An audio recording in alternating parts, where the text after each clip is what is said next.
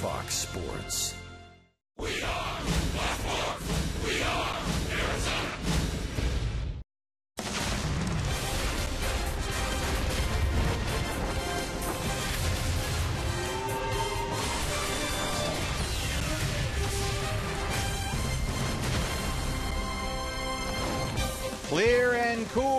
the Valley. We don't see a lot of that here. We haven't seen a season or series victory over the Giants here at Chase Field in three years, but a win tonight means a series win to open up the season on opening week. The Giants banged up to start the year, and the D backs set to pounce after last night's exciting win. It's Diamondbacks baseball tonight on Fox Sports Arizona Plus. Good evening from Chase Field. Welcome to the broadcast. Steve Berthiaume and Bob Brenly along the way. The Diamondbacks here with a chance to begin their season with a series victory over the defending champion San Francisco Giants. Last night they got the win. Ruby De La Rosa got the victory. And tonight that was his Diamondbacks debut. Bob, it's Jeremy Hellickson's turn on his birthday tonight. How about that? Pitching on his birthday. There's a saying in baseball, or rather a philosophy in baseball, that coming from the American League East, there's always a honeymoon period when you come to the National League. You see the numbers for Hellickson this spring. He was very, very good. At times when he was commanding that fastball, he was almost unhittable. Uh, you come from the American League East, a lot of small ballparks, a lot of great offensive teams, and uh, first year in the National League, we'll see how Jeremy does. Now, there was a concern about the Diamondbacks offensively that maybe they're too right handed, but last night Chip Hale had a really nice right left mix, I thought, when he went Goldie, Peralta, Trumbo, Lamb. They're back in there tonight in that same order. The left hand bats, Bob, have really stepped up so far. Yeah, and that's going to be a key uh, not only in the first series of the year, but all season long. David Peralta really looked good last year. Jake Lamb has really looked good in the early going this season. Going to need those two guys to produce all year long to help out those right-handers in the lineup. And you've got rookie Chris Heston making just his second big league start, a right-hander. So Lamb and Peralta key bats tonight for the Diamondbacks. We are just about set to go. Last night we saw the bullpen do a tremendous job in holding on to a one-run lead. So far the bullpen has been perfect. Try and keep that going. Diamondbacks baseball coming up here on Fox Sports Arizona Plus.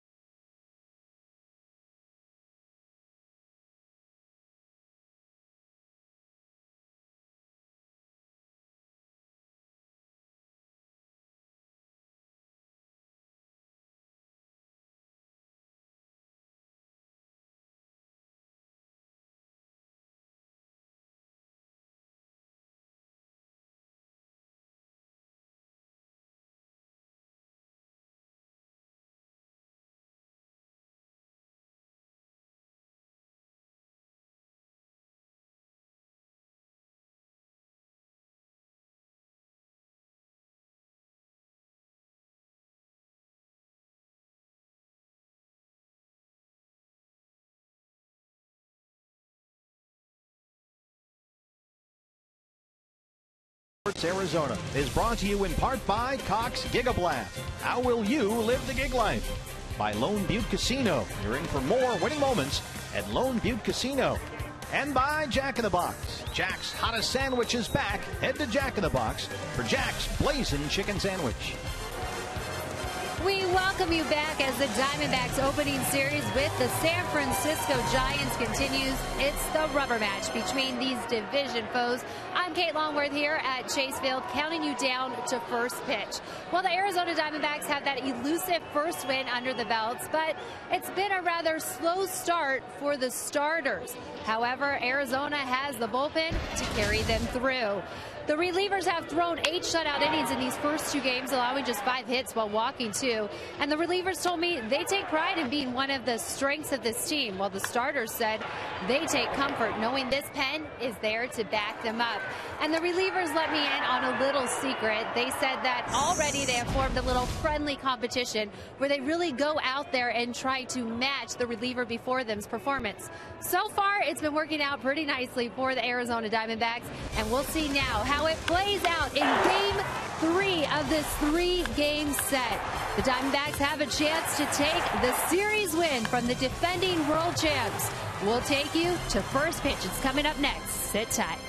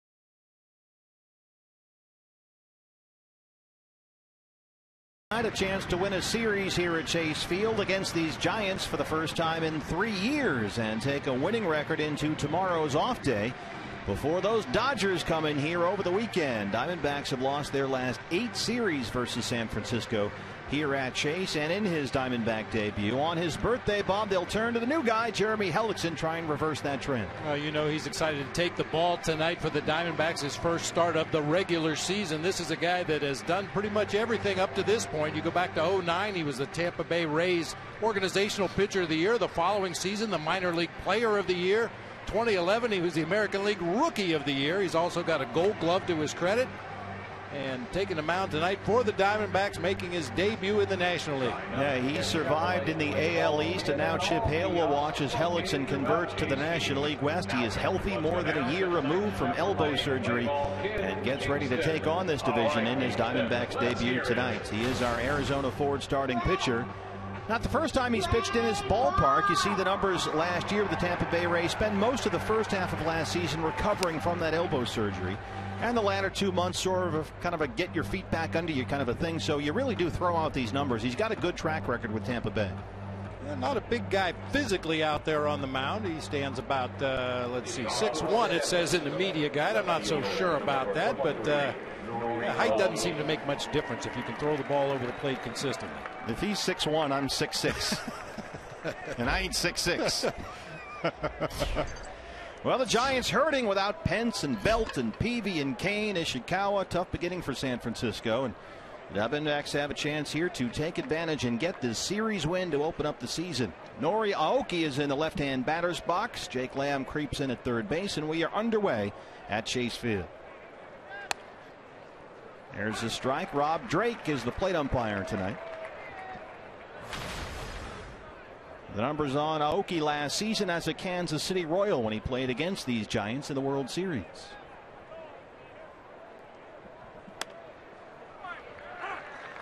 And he's got a 10 game hit streak dating back to last season when he was with the Royals. Aoki had a double in the fifth inning last night. Hellickson ahead 0 2.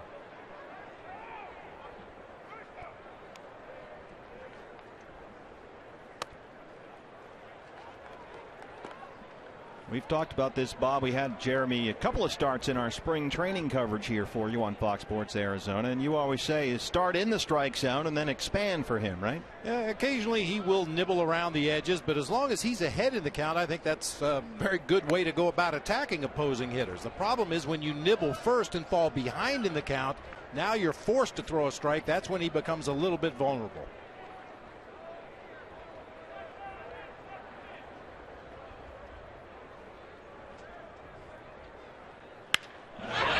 Oh, Aoki a base hit into left.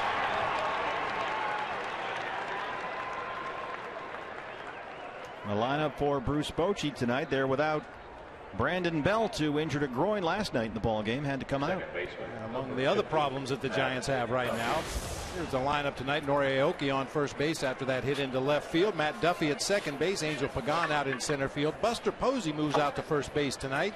Casey McGehee once again at third base. Justin Maxwell getting the start in right field with Brandon Crawford at short.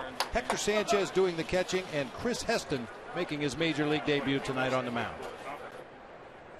Matt Duffy getting the start at second base. Up down up on third base side. Hellickson, the golden glover, kicks it. And the first two have reached for the Giants.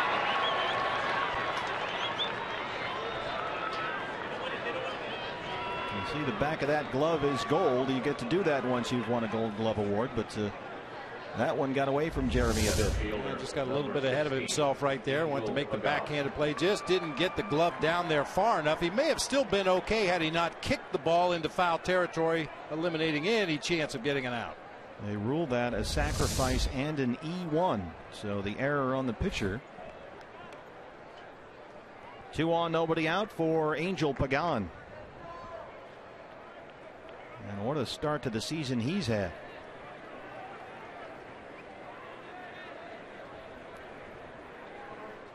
Pagan batting 500 on the year. He hit 300 in an injury plagued season last year. Comes into tonight with a 13 game hitting streak against the D backs. And during that stretch, he's hit 491. Seven doubles, a homer, and 10 RBIs. When a guy has numbers like that against uh, an opposing team, uh, you really need to go back and check your scouting reports and see if you're pitching him the right way. Now, maybe it's just a lack of execution by the pitchers trying to hit their spots or execute their pitches, but anytime a guy hits close to 500 against you, you've got to really seriously consider reevaluating your scouting report.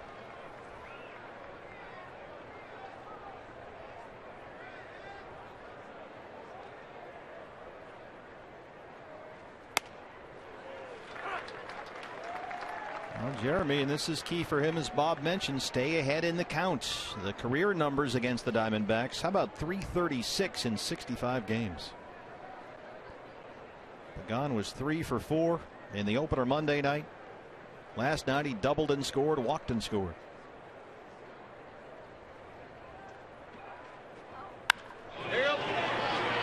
Along the left field line, Jake Lamb gives it a look. Angel Pagan was the man at the plate for the Giants when Addison Reed finally punched him out to end the ball game last night and let Chip Hale's mom take a deep breath.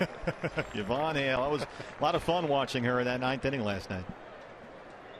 And another great job by the D backs bullpen. They really shut the door. Delgado, Marshall, and Reed. 7 8 9. And mom, Bob, she's back and got the glasses on. Nice. Started a superstition last night.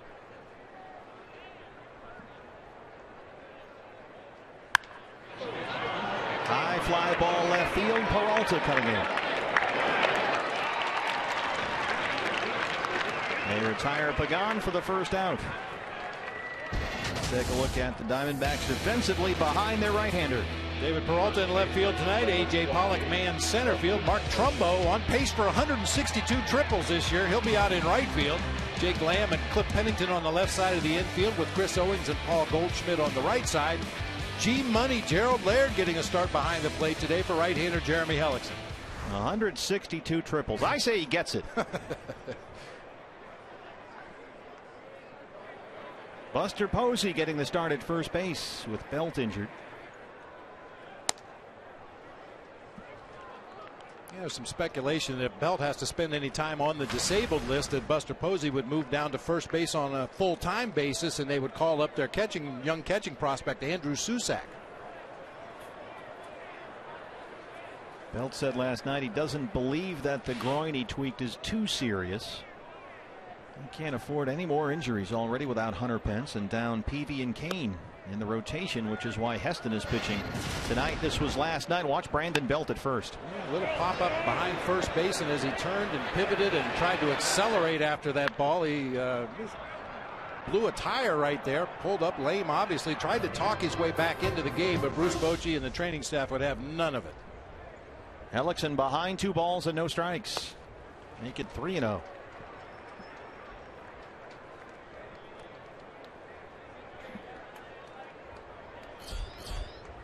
Casey McGehee on deck.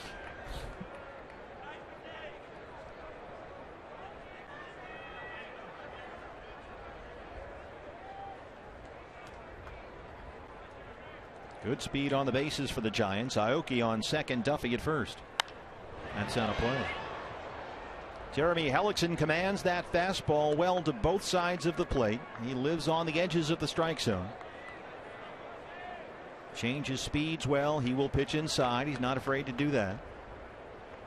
And as you've seen so far, he generally works with that four seam fastball somewhere 88 to 91. And a very good changeup. Everything he throws has nice movement on it, nothing straight. Drop in an occasional curveball as well. 3 1 to Buster.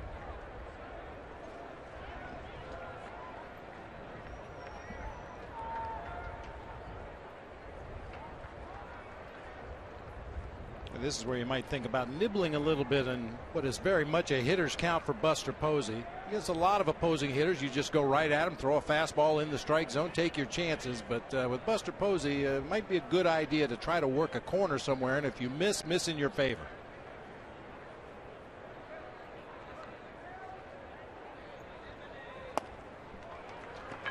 Misses low, and the bases are loaded with one out.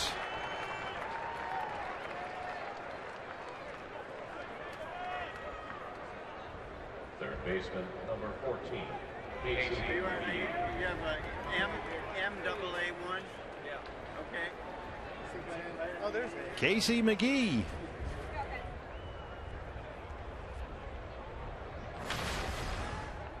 Two eighty seven last year and four homers for the Miami Marlins. He was the National League Comeback Player of the Year after one season in Japan. Aoki is the runner at third. Duffy at second and Posey at first.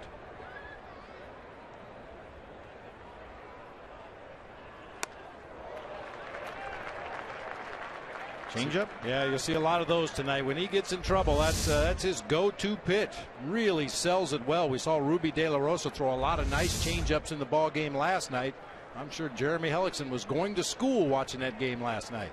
You saw the nice movement on that pitch down and into the right-hand hitter. They come inside again and it eats up McGehee. That's a foul ball, says Rob Drake behind the plate. Casey McGehee's had trouble laying off that pitch off the plate inside. We saw him swing it a couple last night. Very nearly the same result, fouling him off his leg or foul down that third base line. Notice, Bob, that Gerald Laird behind the plate will wait until the pitcher delivers the ball to set up his target. He stands very still right in the middle and then sets up where he wants the pitch just as the pitcher is starting that motion. Yeah, very fine line. You don't want to set up so early that the base coaches or the base runner or even the hitter himself can see where you are back there. But if you wait too long, it could be distracting to the pitcher.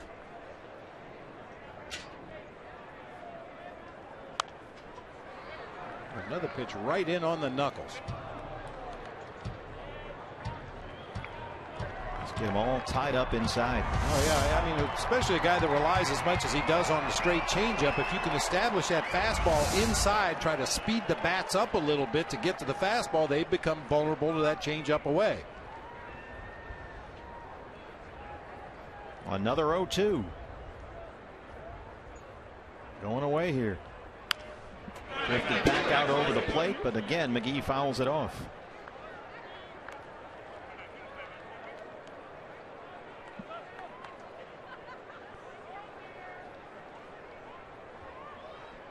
Hellickson does not get strikeouts with his fastball. He does throw it consistently four strikes and spots it.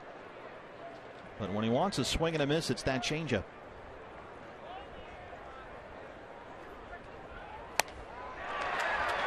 Fastball down and away for the strikeout. That's a big out there, two down. Right fielder, number 43. Pounding him in on the hands the entire at bat. Throws a fastball with a little cutting action at 90 just off that outside corner. Feeble attempt by McGehee to catch up to that one. Yeah, that's exactly what you talk about expanding the zone. Get the hitter to expand the strike zone. That was a perfect example right there. Justin Maxwell, bases loaded, two down. Hellickson now with 20 pitches in the first.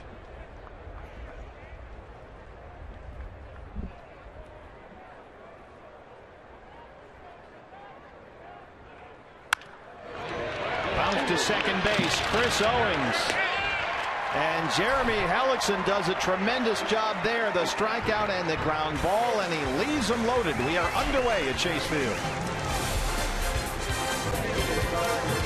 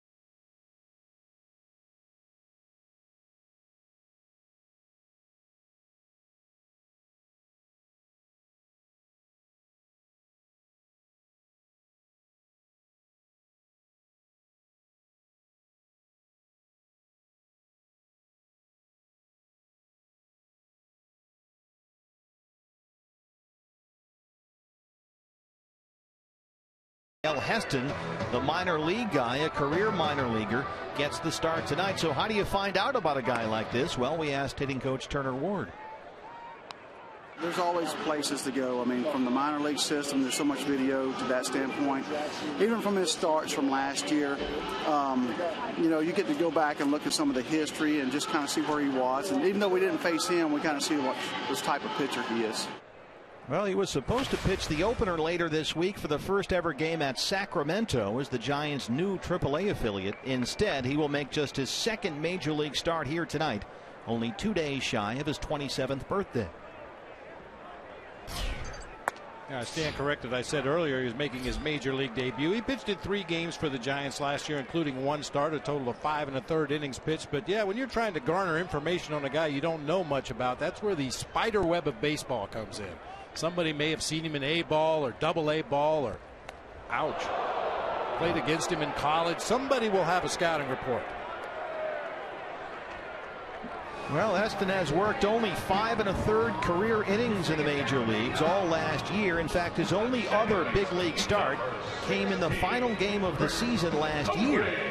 He did have a fairly impressive spring in Scottsdale this season. 15 innings, gave up only 10 hits. He started against the Dodgers regulars on March 27th and pitched well. Six innings of four hit ball. Chris Owings back in the starting lineup at second base.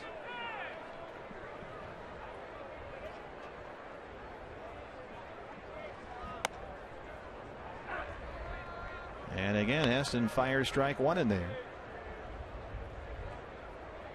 Diamondbacks have some speed at the top tonight with A.J. Pollock and Chris Owings. And uh, the catcher, Hector Sanchez, for the Giants, uh, has a tendency to uh, catch like he's wearing boxing gloves back there. He doesn't always catch everything cleanly. So, uh, as a base runner, you want to be alert, work for an aggressive secondary lead. They throw it away. It rolls into right field, and A.J. is going to head for third.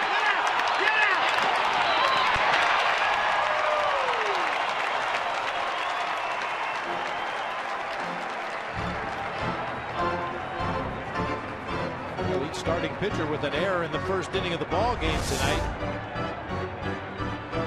Quick feed out there by Help or Heston rather, but uh, just made an errant throw over to Buster Posey, who has played quite a bit of first base, but it's not his most natural position. I don't think uh, Brandon Belt could have got to that one. AJ with those high knees flying around the bases. He's at third now. And still an 0-1 count to Chris Owings. Now we'll see if CO can just hit something to the right side of the infield, bring in that run. Trying to do it right there. We saw that was a key play, Bob, I thought in the game last night when Jake Lamb had that early RBI following the Trumbo triple. It turned out to be a big play in the game, a one run ball game, and it was a very similar situation. And Jake Lamb just got a pitch out over the plate. He could beat on the ground up the middle of the field and drove home Mark Trumbo after he had tripled. Turned out to be a huge run in the ball game.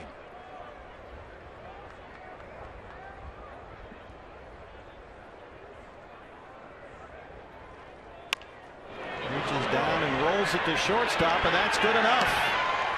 RBI for CO, 1 0 Diamondbacks lead. There you go. Get him on the plate. It doesn't always have to be a line drive in the gap or a home run into seats. Just put the ball in play with the infield playing back and a runner at third and give your team the lead.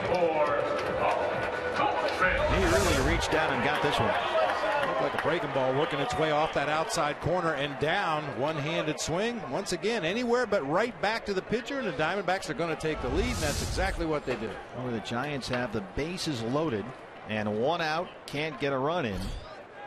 Diamondbacks, two batters in, have a 1 0 lead. Here's Goldie, strike one. You're reading Bruce Bochy's mind right now. That's exactly what he's thinking. Wait a minute.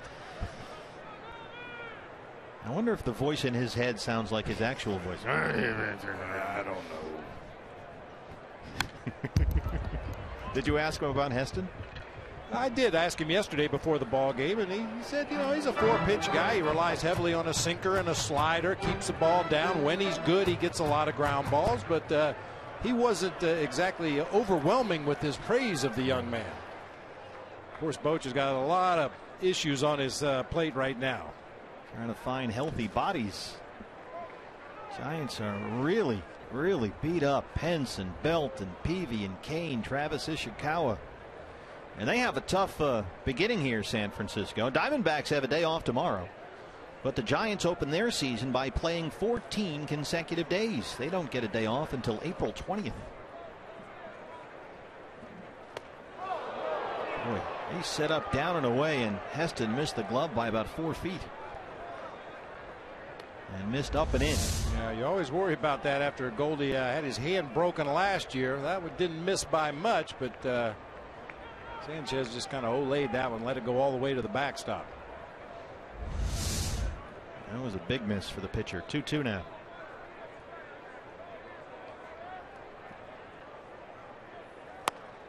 Called strike three. Rings up Goldschmidt.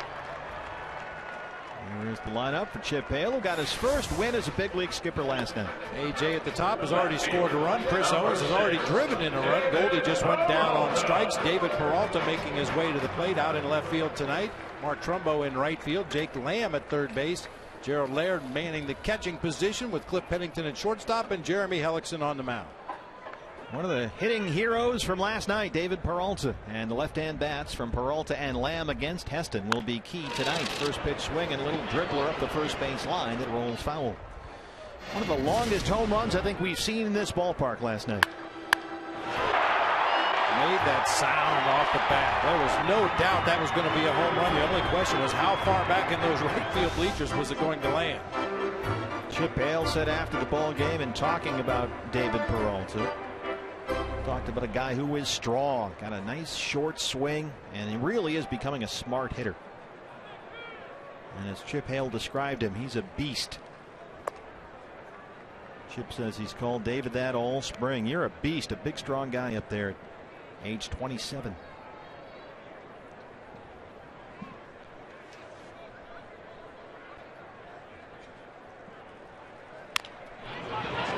To short. It backs up Crawford. Those quick hands, and he throws him out. Diamondbacks have a 1 0 lead. Good time now to visit Food Truck Alley, brand new here at the ballpark.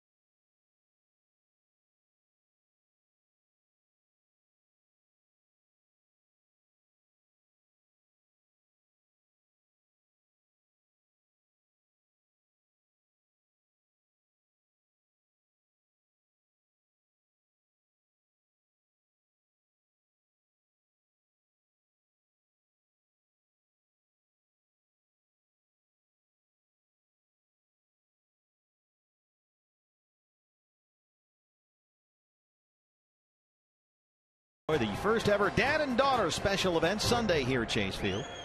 Every special event ticket includes a D-backs dad or D-backs daughter hat and an exclusive keepsake photo. You can get your tickets right now online at dbacks.com slash events. Well, it's a crazy game.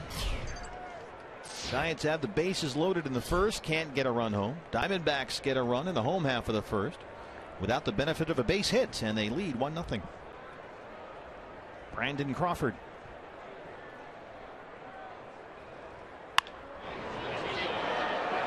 Slices that foul down the left field line.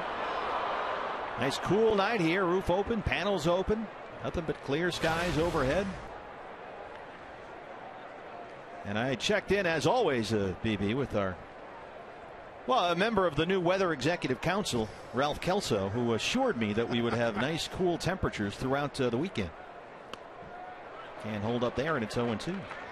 What's his official title? I, I saw oh, he had a jacket he, made up. Yeah, he was walking around here, Ralph. There's Ralph Kelso, and it, frankly, you know, there was a little swagger, and he's got a jacket that says Executive Council. He apparently was promoted somehow.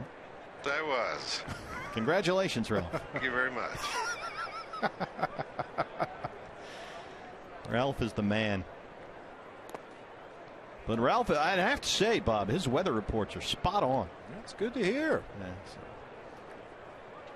After this uh, weekend, Ralph says, a little warmer, but uh, we're good through the weekend for nice, clear, cool skies.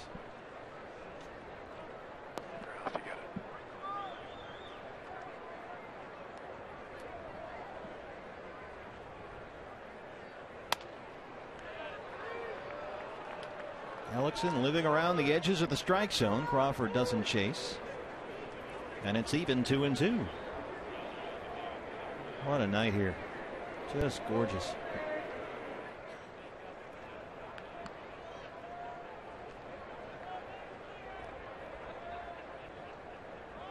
Boy, Brandon Crawford. Every year, Bob, it seems like he's better and better offensively. He used to be all glove and no bat, and it just does seem every year he's a little better up there at yeah, the plate. And very aggressive in this opening series of the season. He swung at a lot of first pitches. He's done some damage on those first pitches. Hacked at the first pitch of this AB before finally getting a fastball up and out over the plate and flipping it out there into left field for a base hit.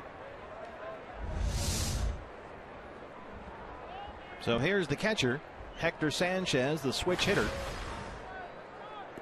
Just under 200 last year. He's got the start behind the plate. Buster Posey at first. Brandon Belt out with that injury.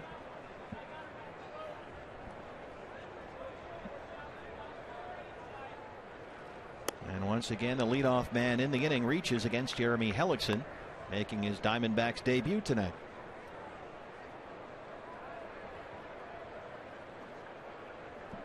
Sanchez is a guy that had some injury issues last year. Mm. Was put on the concussion DL in late July and starts to come back. He was rehabbing with AAA Fresno, took a foul tip off the mask and suffered another concussion. And as a result, was not able to play for the Giants last year after late July. And that's when we saw Andrew Susac come up, who you mentioned a moment ago. Now, Sanchez uh, gets nicked with a lot of foul balls. He's a catcher that sits up very high behind the plate, uh, gives those foul balls a, a, big target to hit, if you will. And uh, he's taken his share, missed 66 games last year because of the two concussions.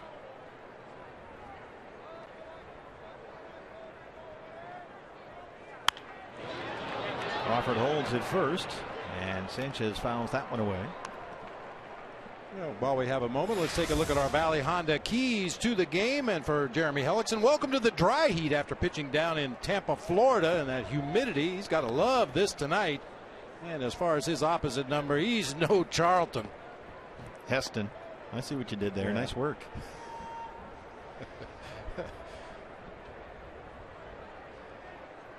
Could have gone a number of ways there. we tried. I thought you showed some, showed some, real restraint. Yeah.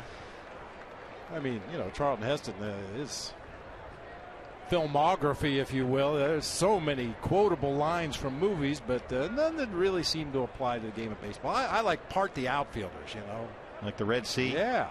I thought at least it'd give me a Dr. Zaius reference, something. Planet of the Apes, Ben Hur, the whole thing. Three balls and a strike.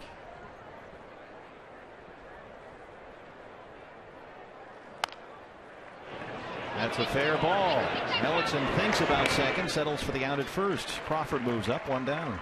Much more under control that time on that little tapper to the left side. It seemed like he was a little bit of a rush for Matt Duffy's bunt back in the first inning.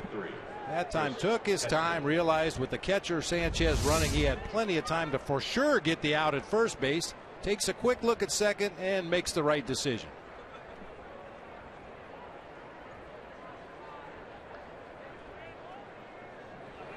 And here is Chris Heston. Popcorn.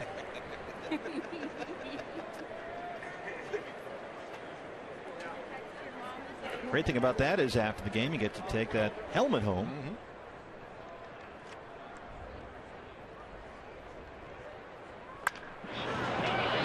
On the ground to shortstop with Pennington out there today.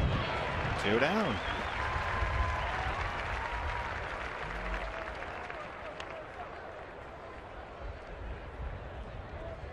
Nori Aoki comes up now. Aoki in the series opener Monday had two hits, scored a run, had a double last night. He's one for one so far tonight. And now going back to last year with an 11 game hitting streak. This guy's a tough out. He's got those quick wrists. Everything. He's just sort of. It's all like he's right there. He just kind of flicks the bat like that. Almost like he's fly fishing up there.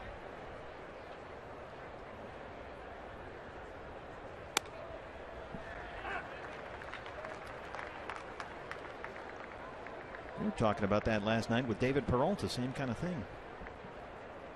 Aoki, uh, yeah, a lot of Japanese players. Uh, you think back to Ichiro, a lot of moving parts, the high leg kick, almost like a windup in the batter's box. And for me, that always makes a guy susceptible to pitches away, especially fastballs up and away, changeups low and away. Tried to come in there and almost hit him. I told you a moment ago, Hellickson will pitch inside. He's not afraid to come in there. He's got pretty good command. Almost got away from him that time, however.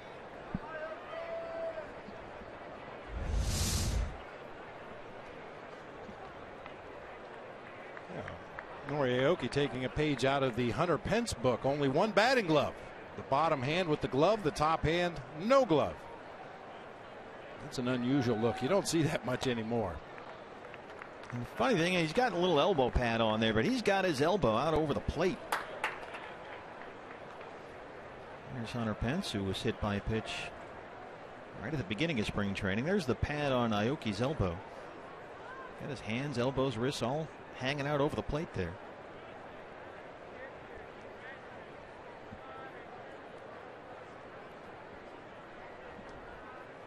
That is by Pennington and into left center field. Crawford will score easily.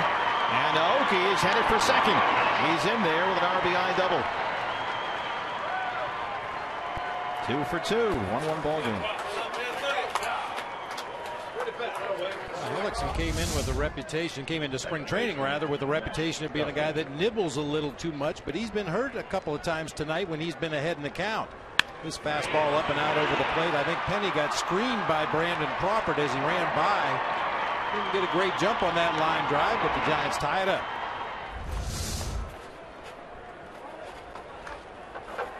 And Aoki in scoring position for Matt Duffy. Getting to start at second base tonight.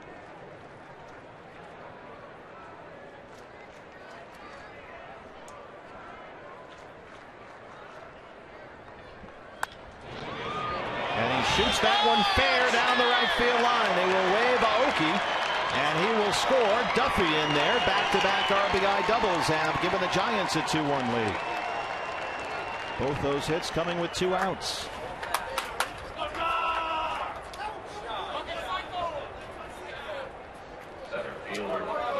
Duffy must be living right. I'll tell you, this is the kind of swing that should not produce a base hit. Ball right in on his hands. Just kind of fisted down that first base line. Stays just fair down into the corner for an RBI double. Mike Harkey out to the mound.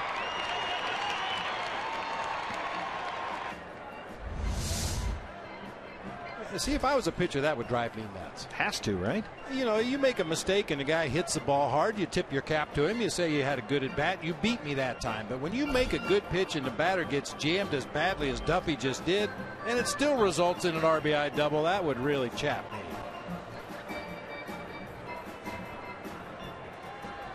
So four hits now for the Giants. Three of them in this inning. Crawford the single. Aoki and Duffy back to back doubles. Here's Pagan who flied out his first time.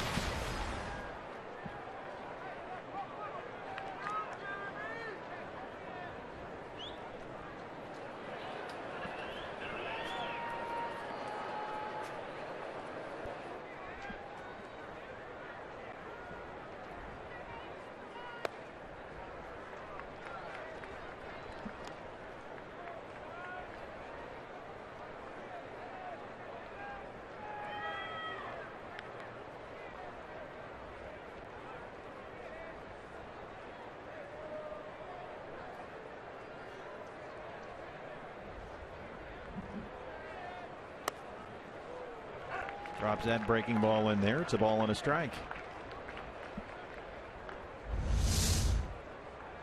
You've got a base open. Good breaking ball that time. Stays right in the middle of the plate. Got a base open. You can afford to pitch Pagan carefully, but you still want to go after him. Make quality pitches around the edges. Keep the ball down. You don't want to have to face Buster with runners on base. Drives it to center. Pollock out there. Giants back-to-back RBI doubles. They lead it 2-1.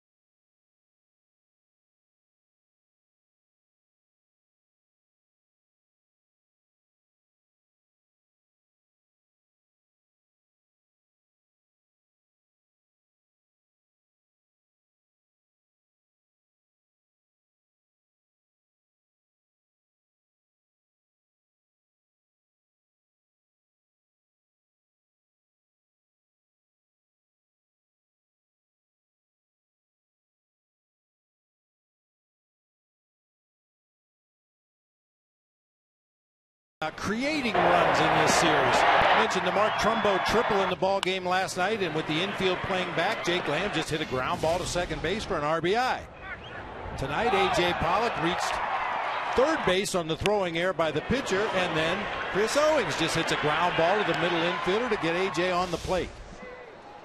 And here is Mark Trumbo to lead off the second.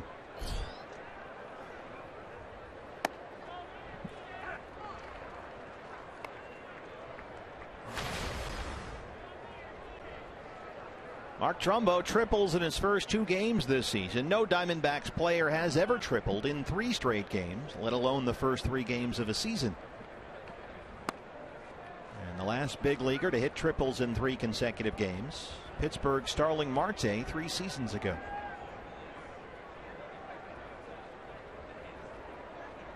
And I heard Mark on the radio with Burns and Gambo this afternoon talking about his goal this year is to hit the ball in the air.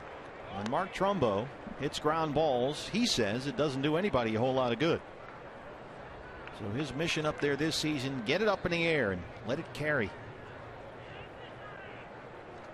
He said he thought that triple he hit the other night on the opening night was a no doubter. Just a rocket out there to right center. I was talking to a number of the Giants coaches about that opening game of the season. Uh, there were a number of balls hit in that game that they thought were going to leave the ballpark. Hmm. Goldie hit one to right field. There were several other hit to left center and straightaway center that seemingly should have left the ballpark. And they were saying it is a play bigger with the roof closed, with the roof open, and I pleaded dumb. I don't know. I don't know. well, why would you know? that was all up to the unit and Schilling, right? They got to choose. Yeah, sometimes mid-game. Close it. Close the roof. Well, the general consensus is that the ball carries much better with the roof and the panels open, especially when the weather's a little bit warmer. But, uh, you know, if you hit it well, it's going to leave regardless of roof panels open, closed, makes no difference. If you square it up, uh, this is a good ballpark to hit it. A cool night here. Temps in the low 70s at first pitch. Not a whole lot of wind. Jake Lamb, seven RBIs. Understatement of the week. Jake Lamb said last night he's feeling comfortable at the plate right now. Duh. Just trying to keep it going. Seven RBIs in the Diamondbacks' first two games, a club record. Just trying to get a good pitch and put a good swing on it. Stay within yourself. His swing does look considerably shorter here in the early going this season. There were times last year he'd get a little long, a little loopy with that swing and become susceptible to inside fastballs, but much quicker this year. Just hits a bullet up the middle, but right at Crawford.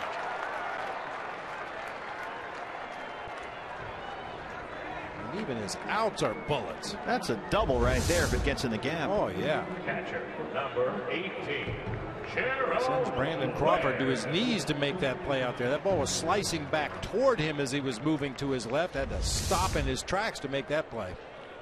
A big time hang with him for the second out. Four in a row retired by Heston, make it five in a row, in fact. Here's Gerald Laird, the start behind the plate, his D backs debut. Breaking ball in there for a strike, 0 1. Laird last year hit 204, 53 games with Atlanta. He's a career 244 hitter over 12 major league seasons.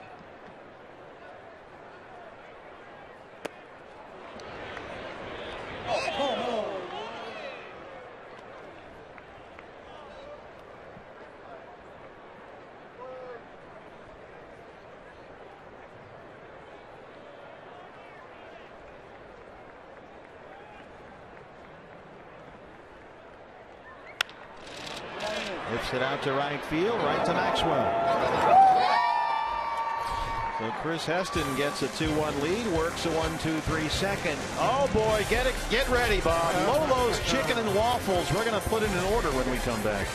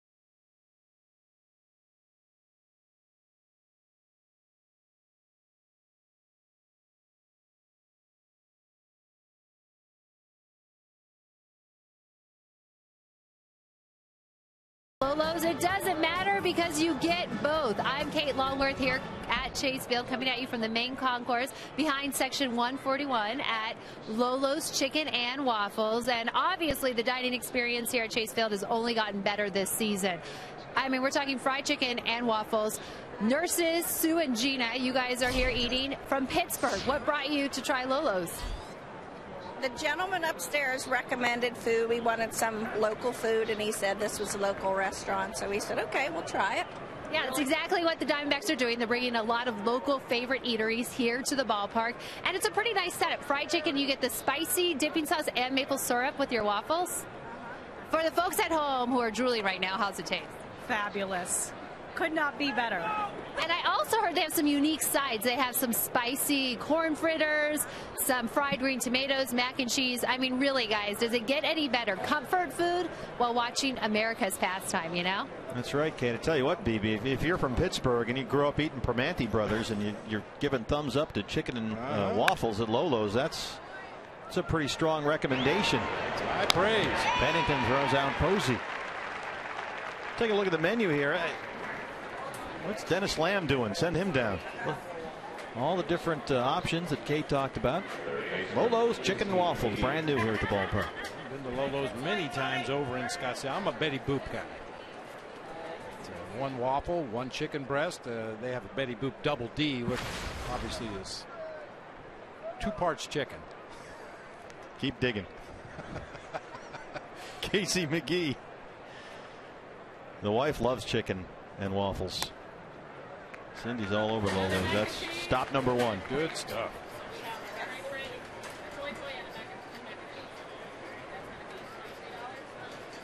Jeremy Hellickson, we mentioned how important it is for him to get ahead in the count. He's throwing first pitch strikes down to 11 of 14 he's faced. But despite that, he's uh, walked kind of a high wire act here through two innings.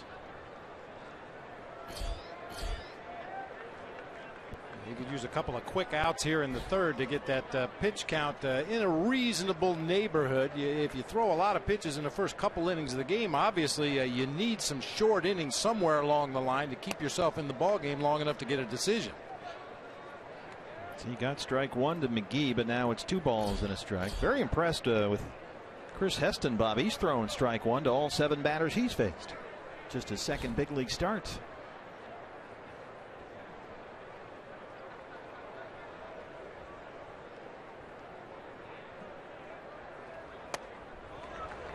Big cut there from McGehee. Fourth in the National League in hits last year. They were looking for a nickname for Casey McGehee, and they came up with Hits McGehee, hmm. which is working out. Gets a lot of hits.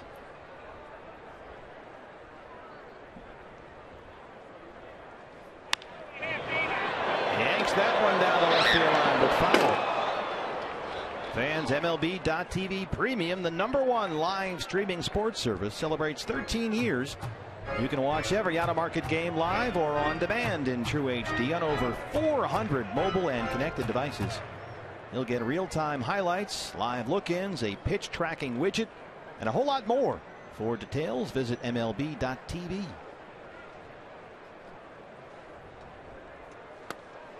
There's the strikeout. Second strikeout for Hellickson, two down in the third. He came with back-to-back changeups. The first one caught a little bit too much plate, and Casey McGehee pulled it foul down that third baseline. This time he spots it perfectly at the knees on the outside corner to get strike three. And that's the second time they've got McGehee to strike out by chasing a pitch down and away. It was a fastball in the first inning. Two down. Here's Maxwell.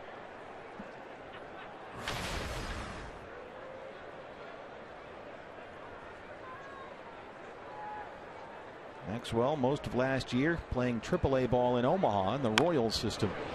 First pitch is fouled away. There's another strike one for Jeremy. As you know, partner, I was next door in the booth talking to Duane Kuiper and Mike Krukow, longtime broadcast partners for the Giants, about Justin Maxwell. They said he's got the best teeth in the National League. And he should because both of his parents are dentists. and his father, as a matter of fact, has been the dentist to presidents. He was a dentist for uh, Bill Clinton as well as George Bush. And uh, they said he's also Barack Obama's personal dentist. So how about that? Well, Maxwell was an excellent high school student in Maryland. He graduated with a 4.0 and was accepted to Harvard. But instead, he went to the University of Maryland because he wanted to play big league baseball. And he said a lot of people around him were against the decision. I'm guessing mom and dad weren't thrilled. But it's worked out. Went to Maryland, played ball there, was a fourth round pick by the Nationals in 05. Parts of six big league seasons, a career 224 hitter. Plays off there. It's even two and two. I should point out that uh, both of his parents also served in his Navy. His father 24 years, his mother 20 years in the Navy. Wait, can you imagine being the dentist to the president? Better not feel any pain. Otherwise, you'll be feeling the pain. Oh, yeah. The Secret Service guys right there take care of that. Well, you could always use some of that uh, truth serum, find out some secrets. Uh-oh. Shortstop, right? I don't want to know.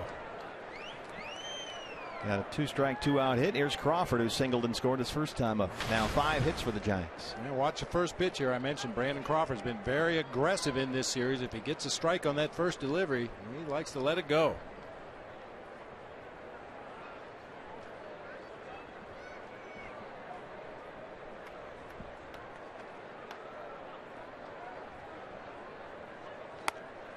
You were saying. Yeah. You know, partner, just because you're not in the starting lineup doesn't mean you can't help your teammates. That's Gregor Blanco, and obviously he's picked up something, or he thinks he has, on Jeremy Hellickson's delivery out of the stretch, and he was relaying that information to Brandon Crawford in the event Crawford gets on base or one of his other teammates gets on base. Maybe a way to try to get a little bit more of a jump. Uh, a lot of players do that on days they don't start. Watch that opposing pitcher watch the catcher, see if you can discern something that would give you a better chance of guessing what pitch is coming. Well, we've talked about with Jeremy, he's got a little bit of an unusual windup, and sometimes he slows and stops and starts again. Sometimes twice in his delivery, and that can create some issues when he's trying to hold runners.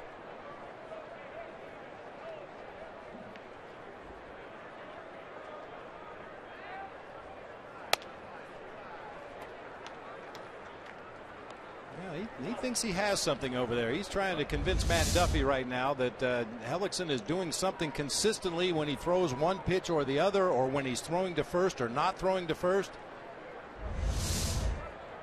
It's one thing for one of your teammates to see it, but if you don't believe it, you better just play the game straight up. You start guessing along with something your teammate has seen, you're going to get in a lot of trouble. Steve Finley was that way. I, have told the story many times about Steve Finley against John Franco prime closer for the Mets. Finn said that when John Franco went into his set position out of the stretch, he could see the veins in his forearm stand out when he was going to throw a changeup. And he kept trying to convince Gonzo and Gracie and Reggie Sanders and all the other guys, and they would put their fingers in their ears. Nah, nah, nah, nah, nah. They didn't want to hear it. But for Steve Finley, he saw it and he believed it. The rest of the guys, uh, they just took their chances. It's another foul. That is a yep foul ball. Looks like Blanco wants to time Hellickson now to the probably to the plate, right? Uh, you know, sometimes guys fall into a rhythm, they come into a set position, and if you're going home, you can count 1,001, 1,002 and deliver the ball. 1,001, 1,002, deliver the ball. But if you're going to throw over to first base, maybe you only get to a 1,001 and then you turn and throw. Maybe he sets just a little bit longer on the changeup, trying to get that grip. Maybe he's a little quicker with the fastball out of the stretch position. 2 2 pitch. Drives it to center. AJ backing up. AJ Pollock. And he's got it.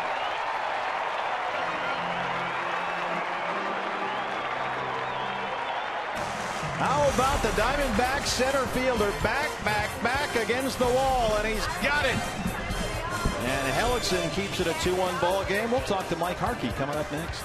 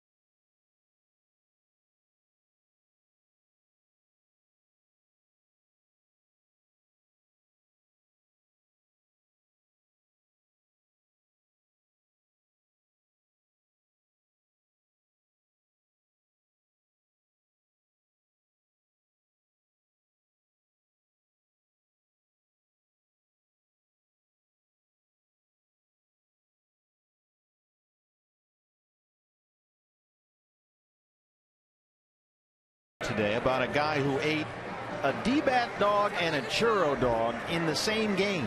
Whoa. Which seems impossible. She's literally got her hands full there with that thing. The double dog dare. That's uh, one of the things at the ballpark. I double dog dare you. There you go. As they used to say in a Christmas story, right?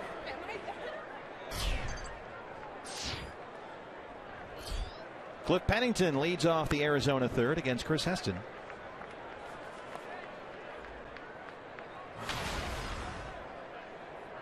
Penny getting the start at shortstop tonight. Nick Ahmed has the night off, at least for now, but we've seen Chip Hale use everybody he's got down on that bench.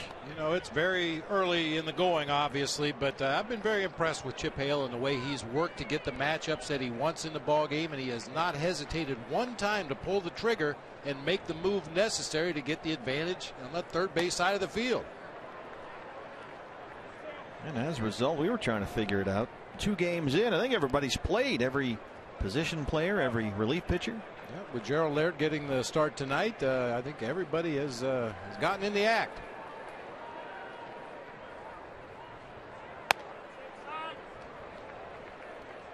A little chilly in here, Bob, and a you know low 70s. I mean, we watched Joe Maddon bundled up wearing a hat and mittens in Detroit and Chicago, but I, I dropped by the new team shop here at Chase Field, got myself a little uh, Diamondback zip up pullover, and they did a tremendous job in there. I mean, it is.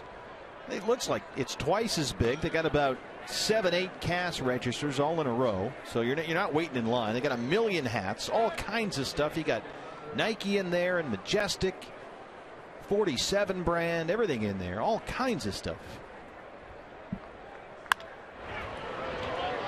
Bouncer to Duffy at second.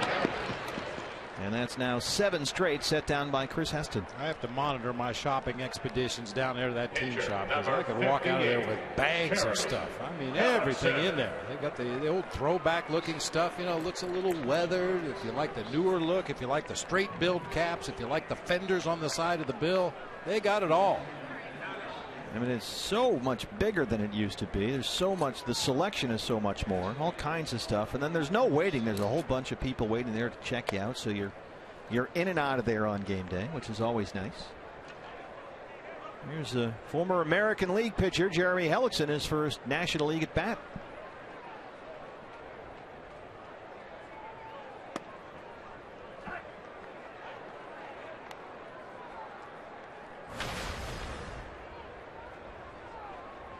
Pride of Hoover High School in Des Moines, Iowa, the Huskies. I believe he still makes his home in uh, in Des Moines. He was a great high school athlete there growing up in Des Moines, recruited in fact by the University of Iowa to play both baseball and basketball. Bounced over the mound. Crawford behind the bag at second. Two down. Hey fans, when the D-backs win, you win at Papa John's. The day after every Diamondbacks win, you get 50% off your regular menu price online order at Papa John's. Enter promo code DBACS50 at papajohns.com. And I've got to admit, yeah, had a little Papa John's for lunch today. Took advantage of the D-backs 50 offer. We hit the trifecta last night, right? Oh yeah, tacos, the win, the uh, five runs, the homers. Mm -hmm. Jay Pollock was hit by a pitch and scored his first time up. Diamondbacks still looking for their first hit, even though they have a run on the board. And Chris Heston has been effective so far. He's got a nice sinking fastball, comes in a smidge under 90 usually. And he will get a little more than his share of ground ball outs with it.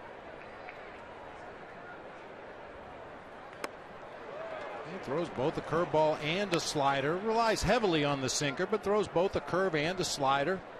I think so far in this ball game, you could say he's been effectively wild. He plunked hmm. AJ, knocked Goldie off the plate. He's missed the strike zone by a wide margin from time to time, but then always seems to come back on the next pitch and put one right on the corner. Pulls the string on A.J. Pollock and gets his second strikeout. The brand new, newly remodeled team shop here at Chase Field. We are through three. D-backs trail at 2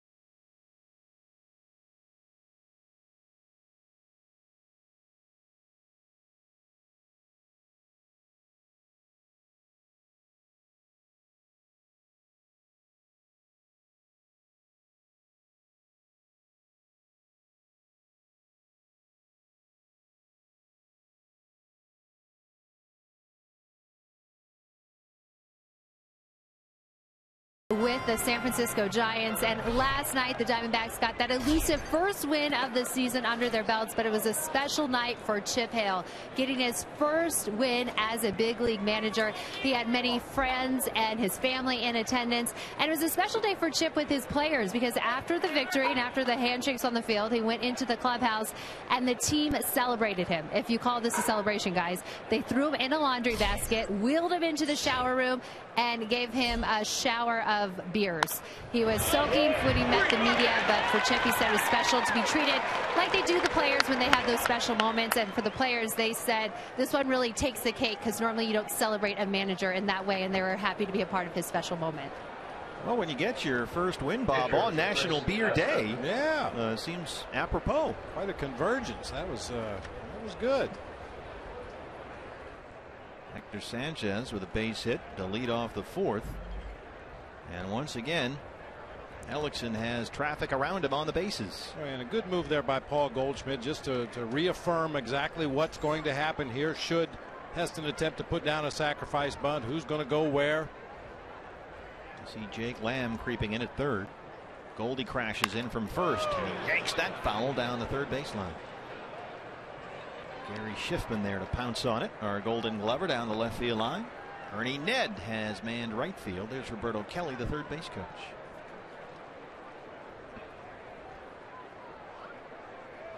Do you get anything for your first managerial win? They? Uh... Well, nothing like that. No, no. Put the lineup card hanging on the wall at home, or will have soon. That's big news on the Brenly front. Yeah, we're back in the old ranch. The renovations are complete. Hellickson one more time. That fields his position very well despite the error in the first. And Heston moves Sanchez along, one out. Left fielder, Nori Aoki. Paradise Valley Burger Company, brand new here at the ballpark, along with Lolo's Chicken and Waffles and so many other of our food vendors here, all going local at the ballpark. You get a real taste of the valley here at Chase in 2015. Top of the order, Nori Aoki, who's been aboard twice, a single, a double. He's driven in a run and scored a run.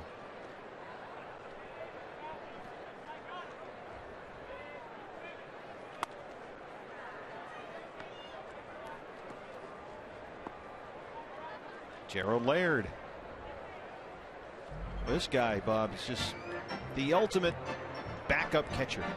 He's accepted the role. I mean, a lot of times uh, you get a young player coming up through the minor league system, gets to the major leagues, and wants to be a starting player. And uh, when he's not able to assume a starting role with the ball club, uh, he can become a cancer on the team. But guys like Gerald Laird, uh, you know, playing behind Yadier Molina, he realizes he wasn't going to play every day. But so he, his mindset was be the best backup catcher in the big leagues. Big favorite of Tony La Russa's when he played in St. Louis. Big favorite of every pitching staff he's ever caught. As a member of Tony's World Series champion 2011 Cardinals, was on the Tigers the following year when they went to the World Series and lost to these Giants. Hellickson behind, two balls and no strikes.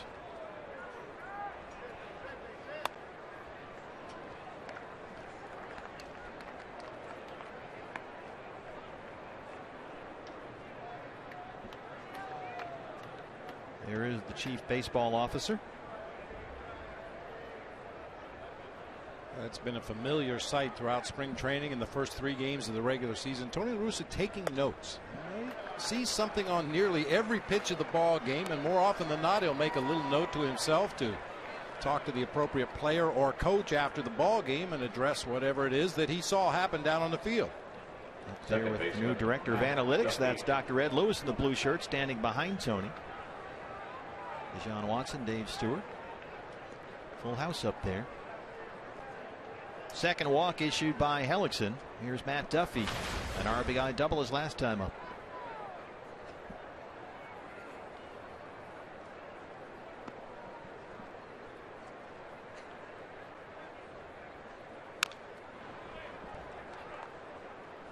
It take, might take more than a single to score Hector Sanchez from second base uh, on that sacrifice bunt by the pitcher Heston. Uh, he was actually on the move. The Giants had started Sanchez breaking toward second base as the pitcher put down the bunt. I think Bruce Bochy figured even on a good bunt, they've got a chance to get the lead runner in Sanchez. So uh, to try to combat that, he got him in motion.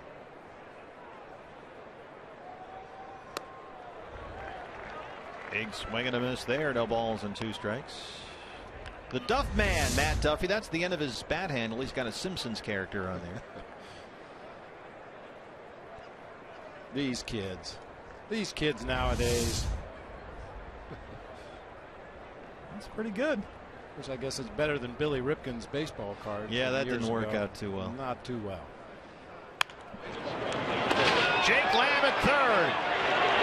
Gets up throw Duffy out. The Giants have the bases loaded. Jake there kept it in the infield, prevented any chance of a run coming in. And Hellickson, who got out of a bases loaded jam in the first, has another one here in the fourth. Yeah, that in and of itself, just knocking that ball down, keeping it out of that left field corner when the Giants really would have had some action. You knock it down, keep it on the infield. You still have the double play in order with one out in the inning. Mike Harkey. He had hoped to talk to Mike during the last half inning, but as you can see, he's got his hands full here. With Hellickson now at 70 pitches, only 45 for strikes.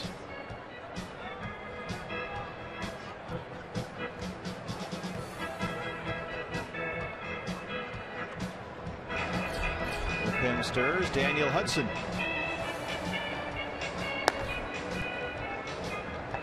So the Giants have Hector Sanchez, the catcher, at third base. Aoki, the leadoff man, at second, and Duffy with very good speed. He's an excellent base runner.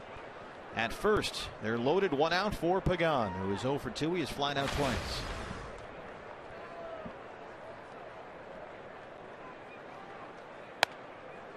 There's strike one, critical for Jeremy.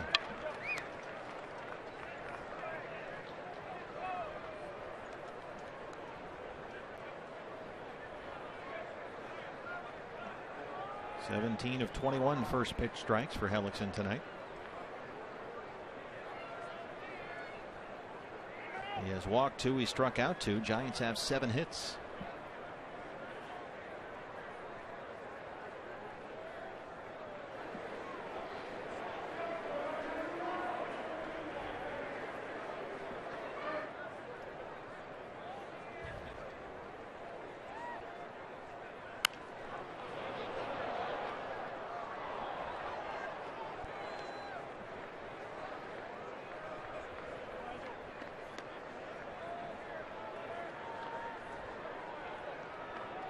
Spring didn't get off to a great start when Angel Pagan was sidelined early with some neck pain.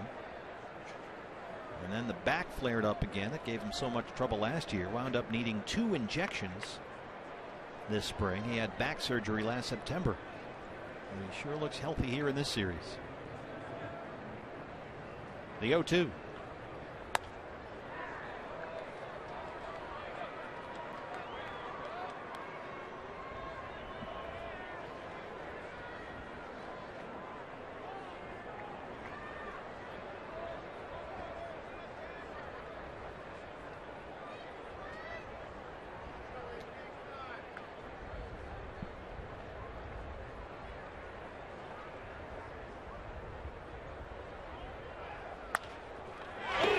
Goldie coming home. The throw almost pulls Laird off the plate, but he keeps the foot down for the force on Sanchez. Nice play there by Gerald Laird. Actually, on that play, Gerald Laird turned into the first baseman. Got that foot on the plate, had to stretch into foul territory and keep that toe on the plate long enough to get the force out at home plate. That particular ground ball, had it been hit to Goldie's right, leading him toward a throw to second base, he might try to turn two up the middle of the field, but I don't think he thought he could get to, so he wanted to make sure to keep that run off the plate. They're loaded with two outs for Buster Posey. He has walked and grounded out 0 for 1.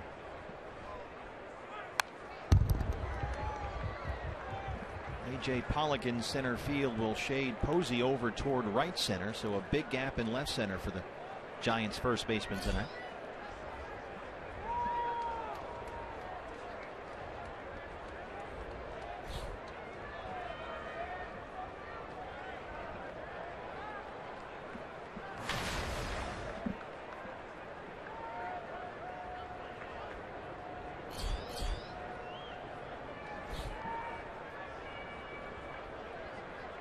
Aoki at third, Duffy at second, Pagan at first.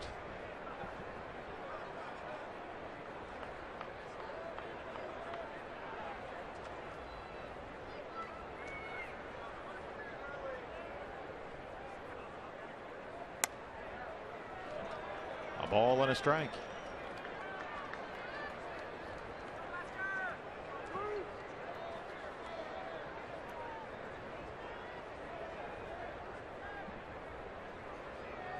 Posey coming off a three hit night last night, including a two run homer.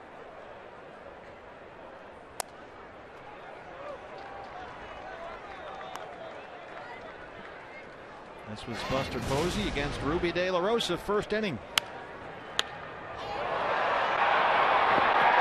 Ball moved down and in. Buster just had to drop the head on it. You, Hellickson's been using his fastball a lot to the last two hitters here. Attack Pagan with fastballs. So far, all fastballs to Posey in this at bat.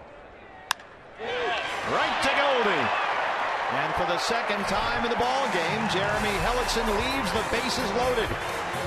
They'll go to the bottom of the fourth. Still a 2-1 ball game.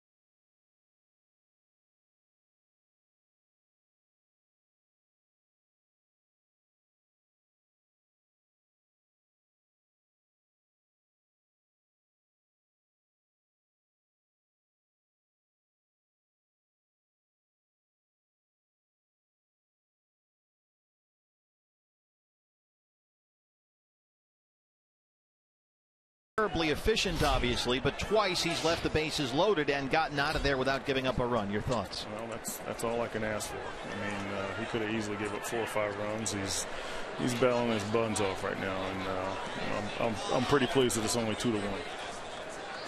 Chris Owings leads off the D-backs for fourth. First start of the season for Jeremy, a regular season, Mike, and uh, uh, any kind of limitations on pitch count or anything like that, he really had to labor hard to get through those first two. Yeah, but uh, you know what? He's got to go back out there and try to give us at least 100 pitches and uh, see where it takes us. Um, after the fifth inning, we'll see where he's where he's at, and uh, we hopefully we can just get this next one out of the way and then make a decision after that because we do have an off day tomorrow. Try and keep this thing going. Hark, thanks very much. You got it, guys. Mike Harkey, the D-backs pitching coach. Meantime, boy, Chris Heston. As bounces one to Duffy at second, has now retired Bob 10 in a row. He's yet to give up a hit. He's giving up some hard hit balls, but unfortunately for the Diamondbacks, right at Giants defenders. He's settled in a little bit. He's got a better feel for that breaking ball now, especially that short, sharp slider that he throws. Still spraying that fastball around a little bit, but as I mentioned an inning ago, uh, have to call it effectively wild when one pitch is at your shoulder and the next one's right on the outside corner at the knees. It's tough to dig in and take a good swing. He struck out Goldie looking his first time up. Yeah, Heston hit A.J. Pollock, the first batter of the ball game for the D-backs, and then A.J. went to third on a Heston throwing error. And ever since then, he's retired 10 straight. Hello. Whoops. Lady.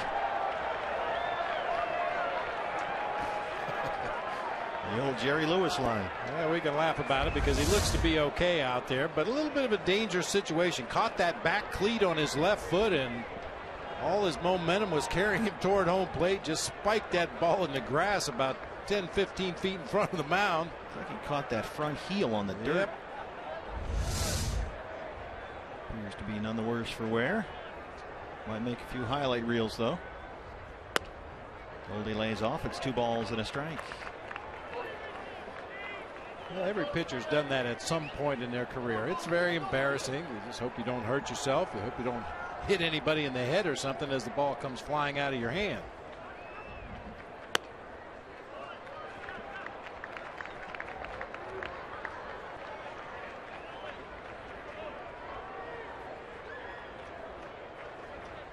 Heston, as we mentioned, had a pretty good spring in the Cactus League.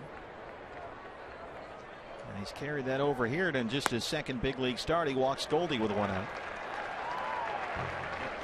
Hey fans, anytime the D-backs score five runs or more, Taco Bell is giving away three free tacos with the purchase of a large drink between four and six the following day at participating locations. I believe you're acquainted with uh, that trophy. Yes, indeed. Thing of beauty, man.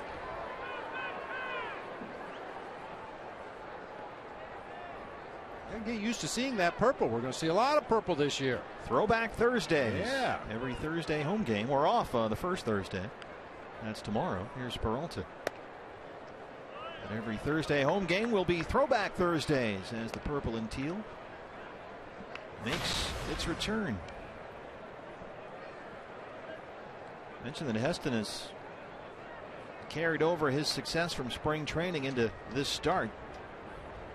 Made uh, five appearances in the Cactus League for the Giants, two starts, went 1 0, a 2.40 ERA, 15 innings, gave up only 10 hits, and had 10 strikeouts. I know you want to mark it on your calendar. May 7th against the Padres will be the first throwback Thursday here at home. And I'm told uh, by people way up top. I mean, I went right to the top on this that you and I will have purple shirts for that. Nice. Yeah, kind of excited about that. 2 0 to Peralta. Spanks it into center. D-backs have a pair of one out base runners. And here comes Mark Trumbo. That's the first hit for the Diamondbacks. Picking right up where he left off last season. Man, he just looks so comfortable at the plate, sees the ball so well, catches it out in front of home plate. Little slicing line drive into center field for the first hit of the game for the D-backs. Really like, as we talked about in the open, about how those left-hand bats would be critical. The heart of this order, Bob, has a nice flow to it. You've got right, left, right, left with Goldie, Peralta, Trumbo, Lamb. Every one of them is dangerous.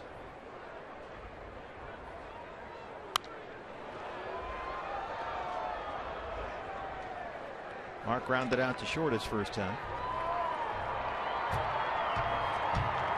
You just hope the guys at the top of the order tonight, A.J. Pollock and Chris Owings, at other times, Ender Inciarte will be up there at the top of the order. If those guys can get on base at any kind of a normal clip, there should be a lot of RBI opportunities for the guys in the middle this year.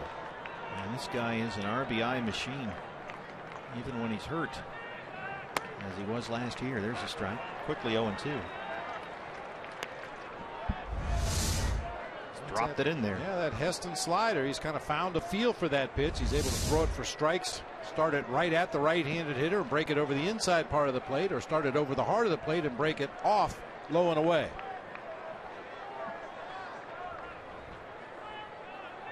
A good time to get that third straight triple. Gets it up in the air along the right field line. Maxwell watches it go in the seats. Another pitch up in the zone. It's very apparent that this book on Mark Trumbo, as far as the Giants pitching staff is concerned, is to try to rush him upstairs with fastballs. You see Sanchez rise up out of his crouch. Tries to get up on top of that pitch, fouls it down that right field line. But we've seen every pitcher in this series that faced Mark Trumbo attack him with some high pitches. He does go after them almost all the time. We saw that first triple Monday night. That was about shoulder height. Almost drove it out of here to right center. At the off speed pitch there, and that's the third strikeout for Heston, two down.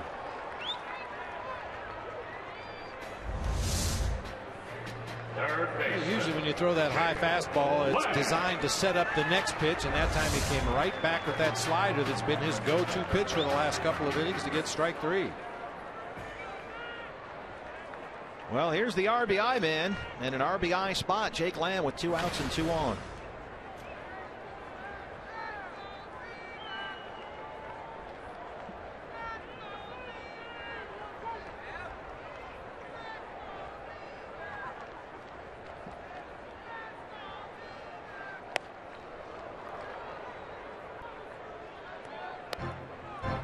Jake Lamb was first called up to the big leagues last August. He understandably looked like he was trying to find his footing a little bit. Struck out 27 times in his first 68 major league at bats. But now, as he looks back, he admitted, you know, it didn't quite feel right last year. It was kind of a battle almost as soon as he got here. But now, much more comfortable, much more at home. And that means on the field, in the clubhouse, I mean, everything. Mm-hmm. Well, once you get over that phenomenon of facing a guy's bubblegum card, you know, you realize he's just another pitcher. He's got to throw strikes. If I swing at strikes, get a good pitch to hit, put a good swing on it, you know, all those things. And once you realize that this is the same game I've always played, it's things I've always done, I can do this. And then it really translates into the swing. You talked about Bob how he was a little long last year and now seems to be a little quicker to the ball. But to, he's in a place now, obviously, as we've seen through two games, where he's comfortable with that swing. And now he says it's just a matter of maintaining that.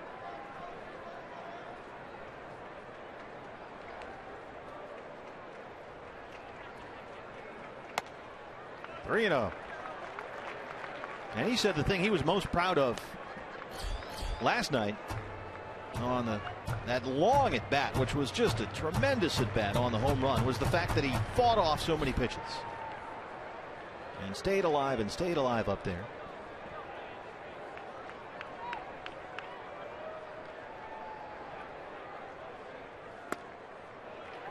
He works a walk, so the bases are loaded with two down, and Heston in a jam here will work to Gerald Laird. And Hellickson has twice had the bases loaded with one out and gotten out of the mess without a run. And now Heston's in a two out bases loaded jam. First at bat in the game, Gerald Laird saw back to back sliders to start the sequence. That was the third out back in the second inning. See if he attacks him the same way here with two outs and the bases loaded. Flying out to right his first time.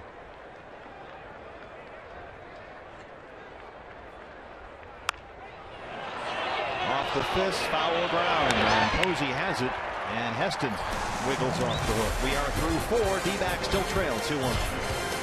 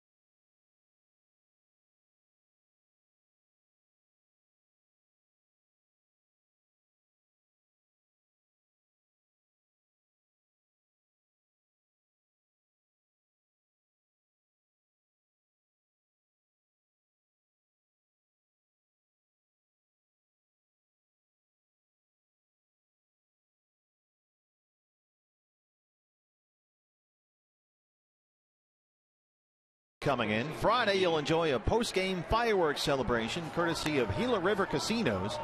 Saturday, get a Hello Kitty bobblehead. And then on Sunday, come early for Los D-backs Fiesta de la Familia, a pregame multicultural street event presented by Fry's. Get your tickets online at dbacks.com. Got the Hello Kitty bobblehead up here, in fact. It's not a bad item. First giveaway of the season. Fifth inning now. McGehee, Maxwell, Crawford, 5, 6, and 7 for San Francisco. They have out hit the Diamondbacks 7 1 and lead it 2 to 1. McGehee has struck out twice. Both times, remember, they got Casey McGehee to strike out by chasing balls down and away out of the zone.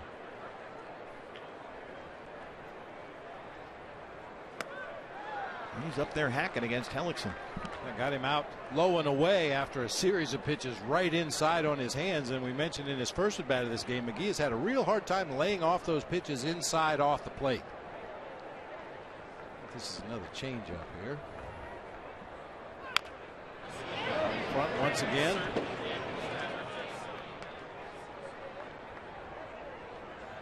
Uh, ideally, you throw such a good changeup that the guy swings and misses, but invariably he's going to pull it foul, either down the third base line for a righty or down the first base line for a lefty, because your bat just gets out there so quickly out in front of the ball.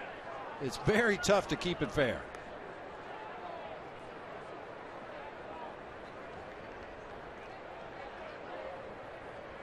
This guy used to be a dead pull hitter. Was always up there looking to pull the ball for a home run. Went to Japan and really used or learned how to use the whole field there. He's off that time. They tried the same formula, but McGehee's not biting. It's two and two. He said in Japan, you got to use the whole field. There's a lot of different pitches, movement, change of speeds, different from the power pitchers in the U.S. Really helped him become a better overall hitter. And he laces that by a diving Lamb at third. Pennington way over there to chase it. And McGehee has a leadoff double.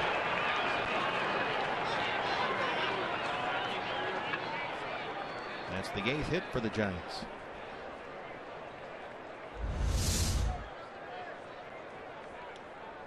One more changeup. That time he was able to extend his swing, kind of reach out there and keep the bat in the strike zone just long enough to keep that ball fair down the third baseline. Daniel Hudson had been warming earlier. We heard Mike Harkey tell us a half inning ago that they really want to get Helix into 100 pitches. And he's at 83 right now. Trying to get some length. De La Rosa last night, five and a third. Josh Collmenter Monday night, four and two third. I have these guys getting a little deeper into games and take some heat off that bullpen. And for Hellickson, it's been the first guy in the inning. It's been trouble. Four of the five leadoff men for the Giants have reached base so far. Maxwell singled his last time up.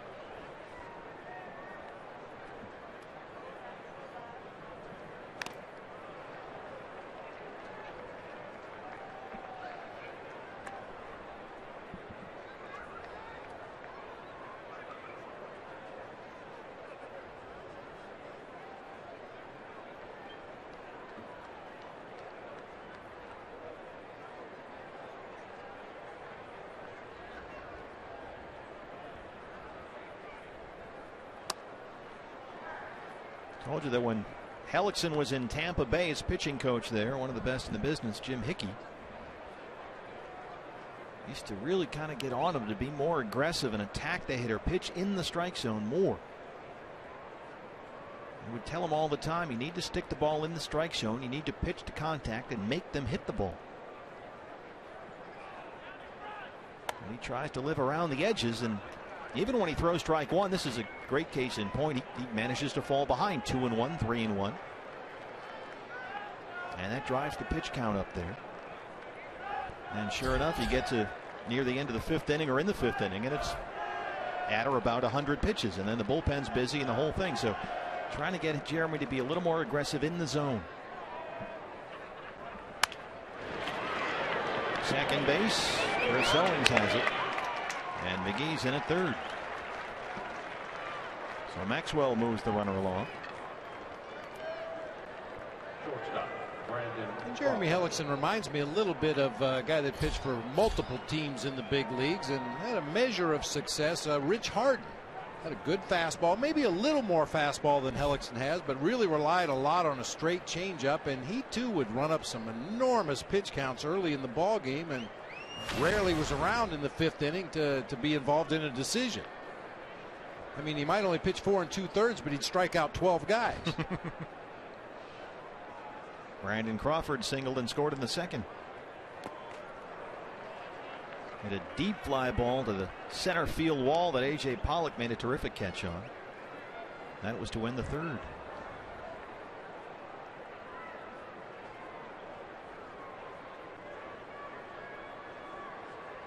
Jim Hickey in Tampa Bay was quoted last October as saying that he thought Hellickson nitpicks a lot, tries to stay perfect, and gets into a lot of deep counts. And I think we've seen that tonight here. That's a foul ball. And the Rays in Tampa, they said that, you know, they were willing to accept those occasions where once every eh, five, six, maybe seven, eight outings, Hellickson might end up getting hit pretty hard just because he would try to go in the strike zone like they asked. And with his stuff, they insisted he wasn't going to overmatch anybody. And they would say that's the kind of pitcher you have to be more economical, working to contact more often. I think especially after Jeremy sees uh, the ballpark down in San Diego, up in San Francisco, Dodger Stadium at night, great places to pitch to contact. Base hit for Crawford. McGehee scores. It's 3 1.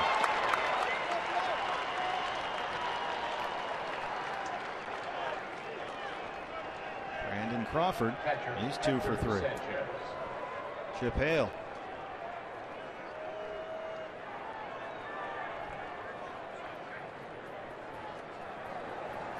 He has checked in here with Rob Drake, so they are going to make a double switch at this point and bring Daniel Hudson into the ballgame. I think the double switch will involve Tuffy Gosewisch coming in for Gerald Laird. Pitcher will hit Laird's spot. Tuffy will hit the pitcher spot. Now Laird is walking back into the dugout with all his gear on, and Hellickson is right behind him. Back in a moment.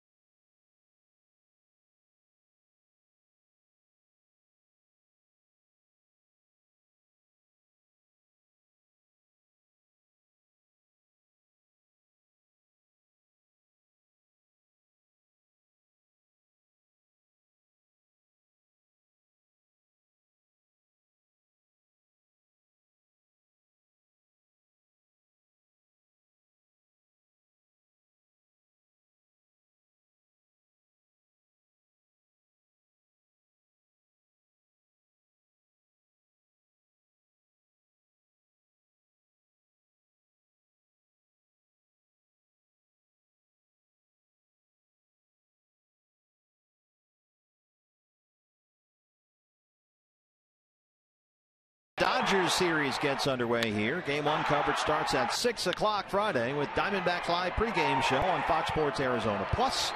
If you need a complete listing of the Plus channels, visit foxsportsarizona.com. That is Anderson versus Anderson.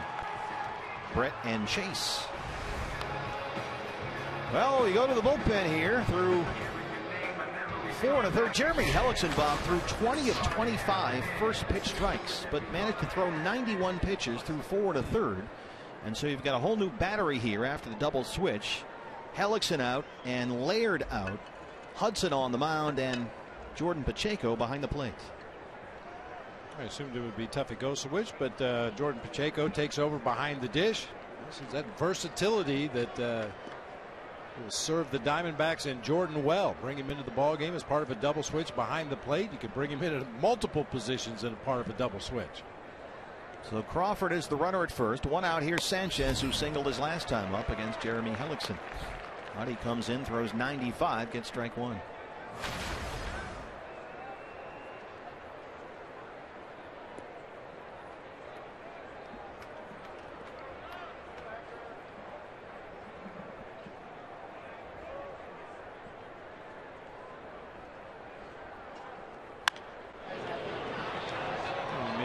big deal out of Rubby De La Rosa being wedged in between Josh Collmenter and Jeremy Hellickson because he had a little more fastball, give the opposing team a different look. He, Chip Hale didn't want Josh Collmenter followed by a guy that threw exactly like he did, so they put Rubby De La Rosa in between. And the same thing goes for an individual ball game.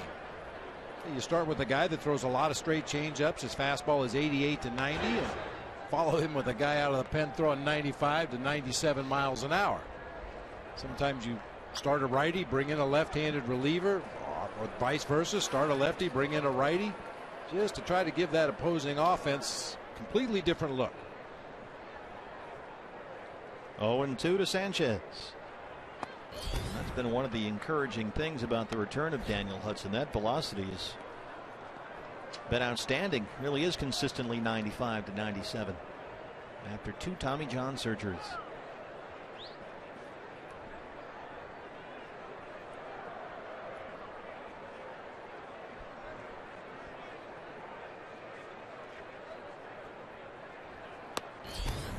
I always thought, Bob, of well, they ruled that Sanchez went around, so he gets the strikeout.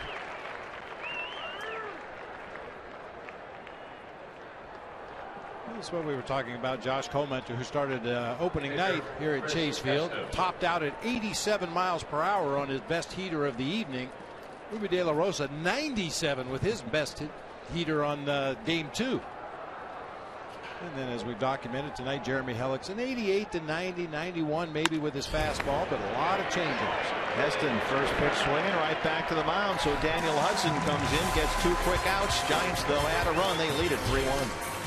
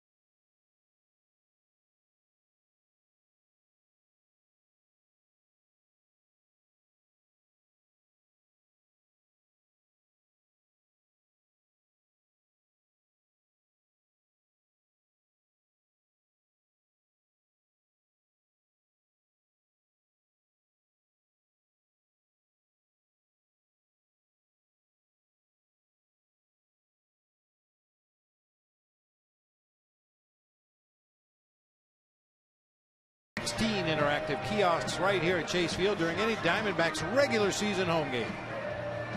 Get yourself a signed Kachenko game piece. Bottom five here Chase, only one hit for the D backs. Rookie Chris Heston, his second big league start in place of Matt Cain, who went on the DL yesterday. Retired at one point, 10 straight. And he's been very good, although he had two walks and a single in the fourth. Managed to leave the bases loaded. And Pennington leads off the fifth.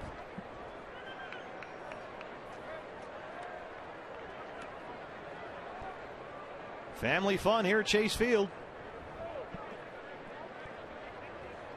Look, she's she's like three years old and she's already lost in the phone texting.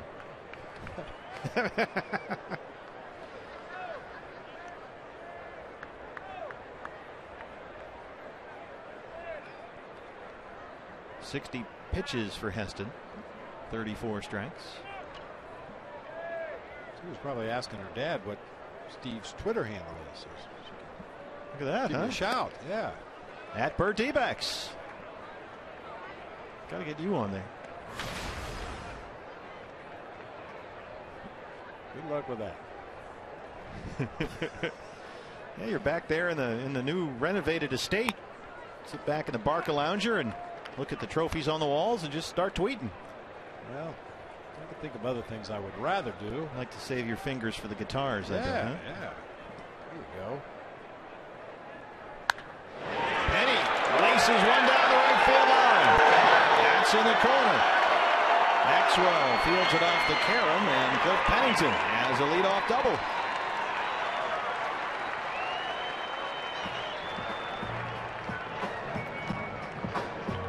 Good start to the bottom of the fifth inning. Penny gets a fastball belt high inside part of the plate, hooks it down into that right field corner. Well, we mentioned uh, when Daniel Hudson came into the ball game along with Jordan Pacheco, a double switch, and this is why you do it. This is the pitcher spot due up right now. Jeremy Hellickson was hitting in this spot, but when you bring two players into the game at the same time, you can flip their spot in the order with the two players that they are replacing. So Jordan Pacheco batting now in what was the pitcher spot. And he has put together a tremendous record as a pinch hitter. And he's done that by being very aggressive early in the count. And he swings at the first pitch, sure enough. Heston bobbles it, recovers, looks Pennington back to the bag, and throws out Pacheco.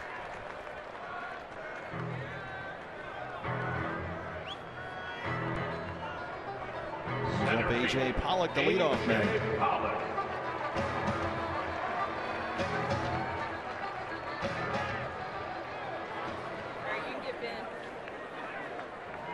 Shoot a little pool. A lot of great areas here in this ballpark just to come and hang out.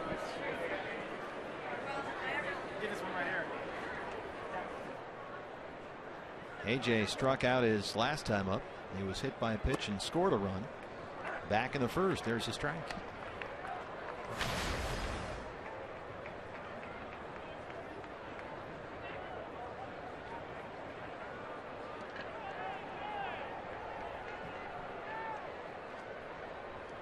Think that Chris Heston, two days shy of his 27th birthday, just his second big league start. So far, they have to be very pleased with what they've got from this guy. This one is over the line. Duffy at second. Pennington in at third. While we have a moment, let's take a look at this day in Major League Baseball history. Brought to you by Geico. Hank Aaron hits home run number 17 to pass Babe Ruth for the all-time home run lead. Hammer and Hank had homered on opening day of 1974 against the Cincinnati Reds to tie the record and broke it in Atlanta's home opener against left-hander Al Downing. Chris Owings looking for his first hit of 2015. He did drive in the Diamondbacks' only run of the game with an RBI ground out in the first.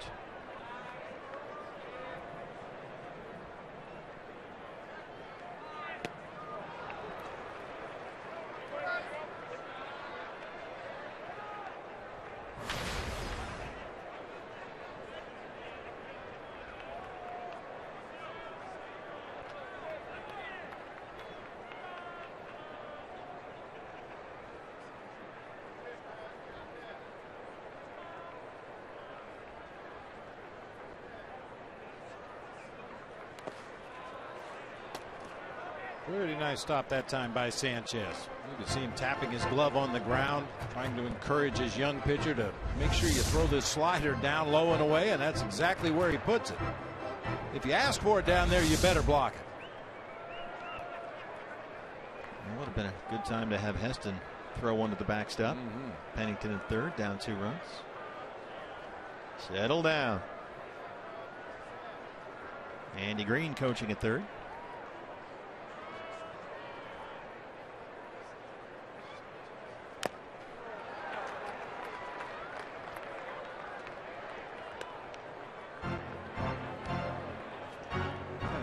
Sanchez, like a lot of catchers nowadays, uh, paints those fingernails so the pitcher can see a little better. I think that's called buttered popcorn if you go to your local salon. The color, you mean? Yeah. And how would you know that exactly? Is that why you can't tweet? That's right. Don't want to mess up the manicure. Obviously, the best lighting you can get to play baseball uh, at night, but uh, you know, for the catcher, you got the batter there, the umpire behind you, trying to give signs down there between the wickets, and uh, sometimes it's tough to see in those shadows. And Chris Owings strikes out. Heston strands the runner at third, and through five, it's a 3 1 ball game.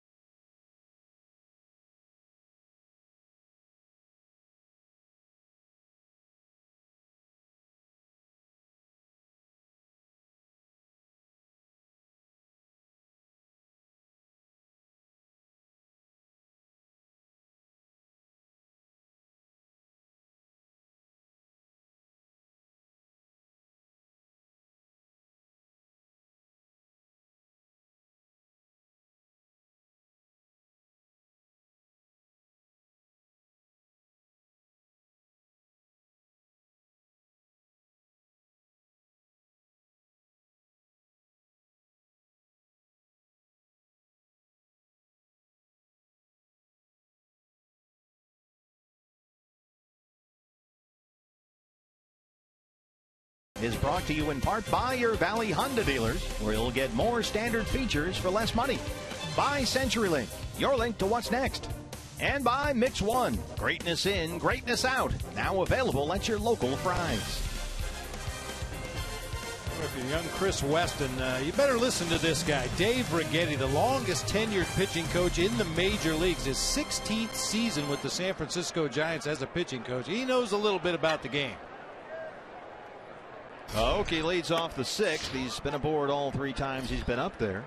A single, a double, a walk. He's got an RBI. He scored a run.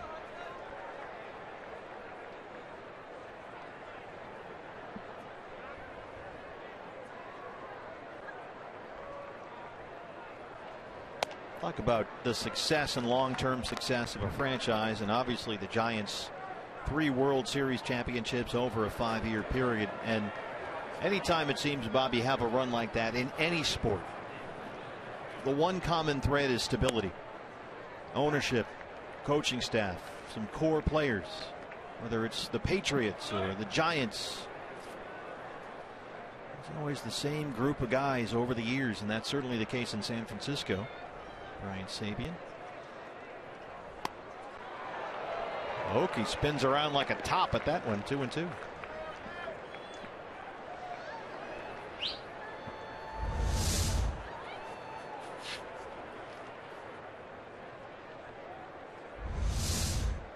Have that many moving parts. It's not always pretty when you get fooled. It's hard to get everything to stop at the same Yeah. time.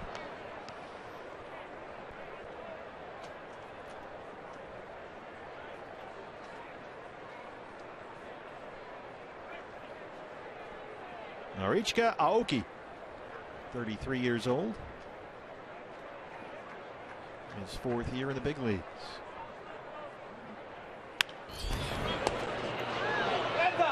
He was a very good player in Japan. He played eight seasons for the Yakult Swallows of the Central League and was a career 329 hitter there. Signed with the Giants in January.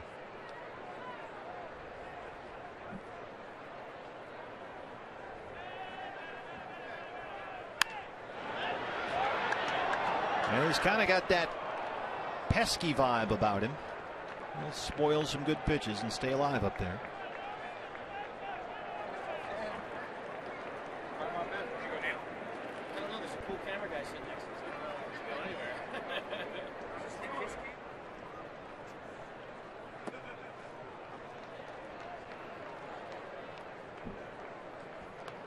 Talking about that consistency within an organization. The Braves had it for years and years with Bobby Cox and John Schuerholz down there and the staff that they carried with them. And the Giants have a similar situation. Brian Sabean, 18 years, the longest tenured general manager. His assistant GM, Dick Tidrow, one of the great nicknames of all time, Dirt. 22 years with the organization. Bruce Bochy, 20 years. Right to Chris Owings at second for an easy out. We mentioned Dave Righetti, 16 years. Ron Wotus, the bench coach, 17 years. There's something to be said for that consistency. You know what you're going to get every spring training. You know what you're going to get throughout the season. And more often than not recently, you know what you're going to get in the postseason. No team has repeated as World Series champion since the Yankees won three straight from 1998 to 2000. And you look at that team with Torre and Zimmer in the front office there. And that famous Yankee core four group of players. Duffy skies this one to left center field.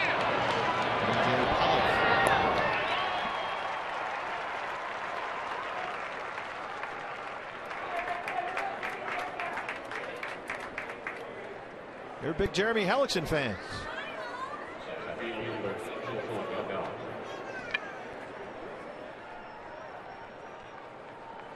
Two down for Angel Pagan, who somehow is hitless tonight. Let's keep it that way. Yeah. He's got a 13 game hitting streak going against the Diamondbacks. 10 RBIs over that stretch.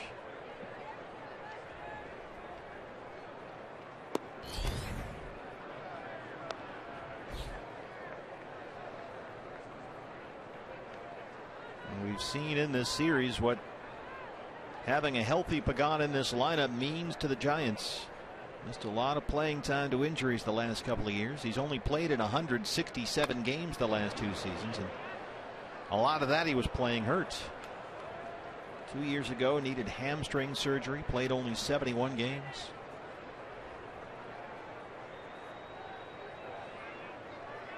Last year, needed surgery to fix that bulging disc in his back.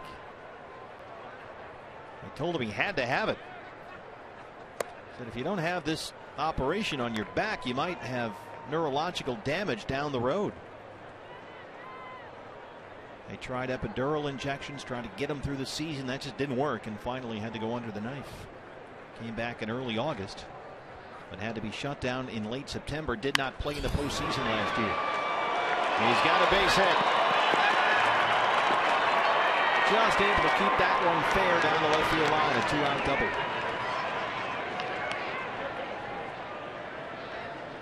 It's four doubles now for the Giants. Ten hits.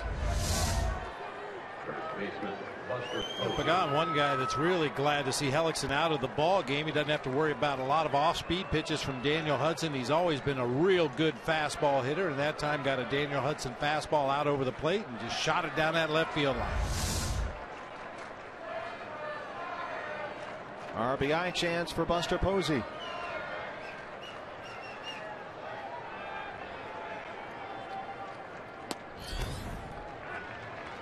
Pagan has had now at least one double in every game of this series. He had two in Monday's opener.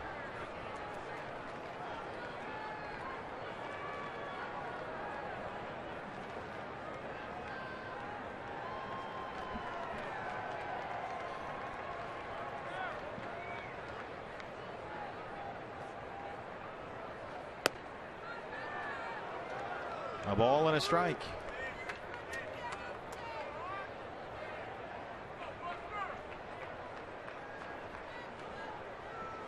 Diamondbacks will have the heart of the order in the home half of the sixth.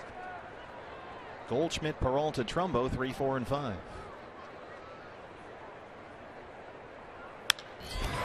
This is driven to left center field. Nice running catch there by David Peralta, and they strand the two out double. Here's what's next, brought to you by CenturyLink. Goldie leads it off.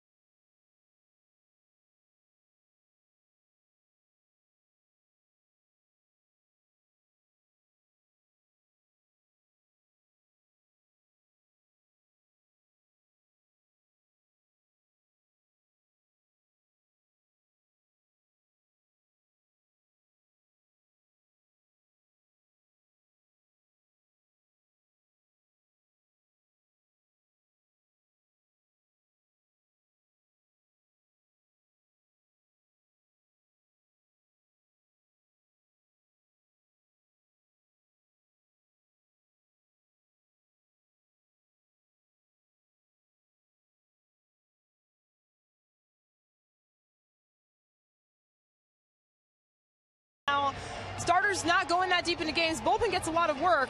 They've been good so far. Daniel Hudson got it done in that last inning. He sure did. Once again, they're in a tight game. Hopefully, they can keep it right there. Hopefully, those Diamondback bats get into gear. Well, speaking of that, heart of the order coming up, guys. We'll send it back over to you.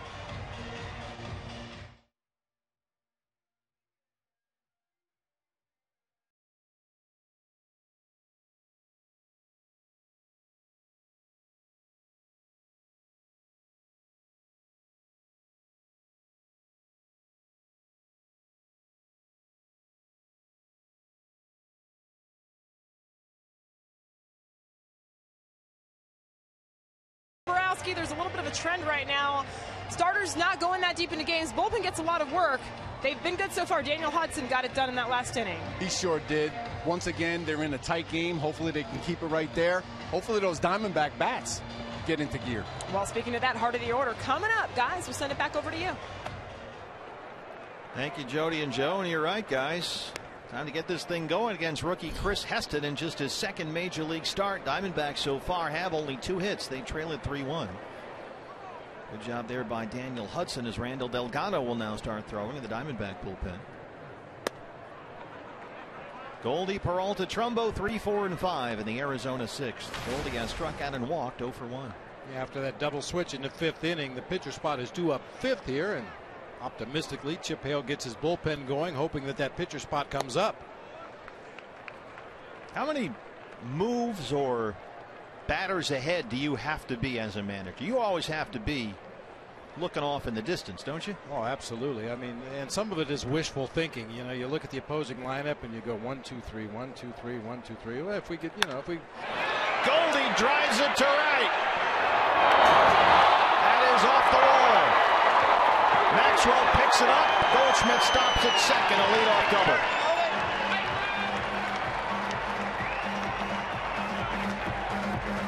We said got to get it started. These are the guys to do it. Good start so far. A real good start. Just didn't get enough air underneath that ball. A line drive to right field on a fastball right down the middle of the plate. Looked like it had a chance to sneak over that yellow line on top the fence in right field, but just hit it too hard. Maxwell gave it a pretty good effort out there. Comes up empty. Fortunately for the Giants, the ball didn't get far away. Goldie has to pull up at second base with a double. So the leadoff man in scoring position. Here's David Peralta, who singled his last time up. He's one for two.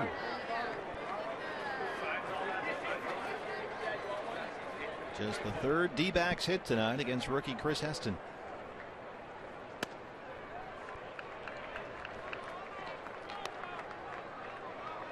Chip Hale talking about one of the things he most liked about David Peralta's game last night wasn't the long home run he hit.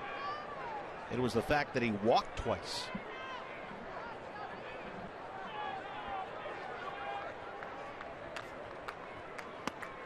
Chip said he put Peralta in that cleanup spot, and he's back in there tonight to break up that Diamondback right hand power duo of Goldie and Trumbo. And David says he's not really trying to think too much about being the cleanup guy, not getting caught up in all that stuff. Just kind of trying to be the same guy he's always been. That's one thing I never really got a handle on. You, know, you hit a guy in the four spot and suddenly he thinks he has to be a power hitter. You hit a guy in the hmm. leadoff spot and suddenly he thinks he needs to bunt and take pitches. And, I mean, you be the hitter you are, whether you're hitting third or eighth, it doesn't matter. It's the same approach.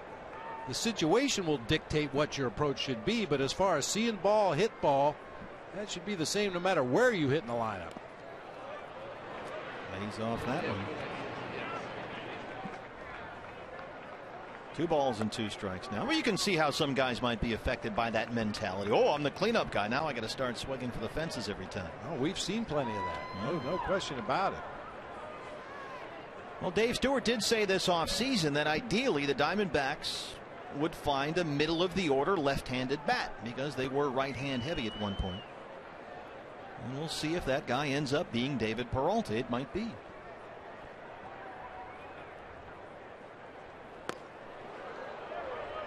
Goldie will move up 90 feet.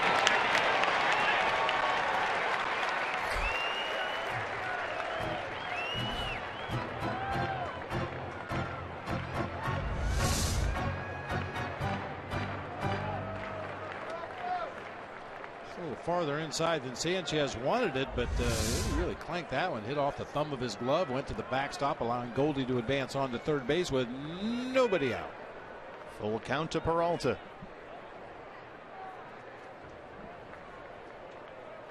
Look at the lead Goldie's getting to third base. Jeez. Looks like Jackie Robinson. He's halfway down the line. David stays alive. Yeah, with Casey McGehee playing well off the line down there at third base, Goldie can get as much lead as Casey McGehee is off the base defensively. he was almost halfway down the line that time. Yeah, you can see how much room uh, or how far Casey McGehee is away from the bag at third, so Goldie can take at least that much of a lead. Heston now at 80 pitches. When you have a catcher that uh, has hard hands behind home plate, uh, you could possibly score without a base hit here. And hangs on to the foul tip, it looked like that time, and that's the first out.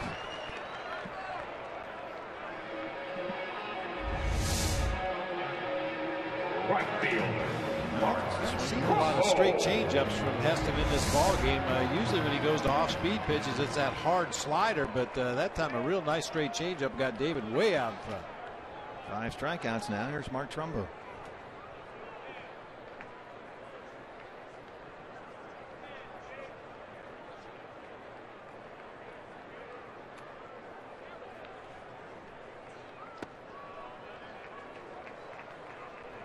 Mark has said he's trying to lift the ball up in the air every time he's up there this year. If he can do that here, he can drive in a run. McGehee, the right hander, Affeldt, the lefty.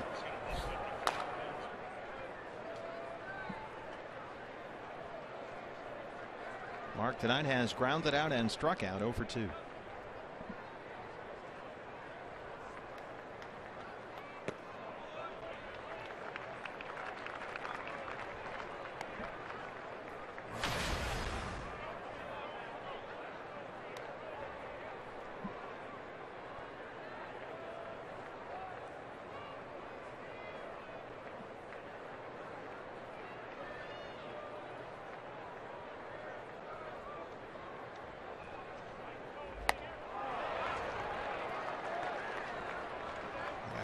That time. Came up empty.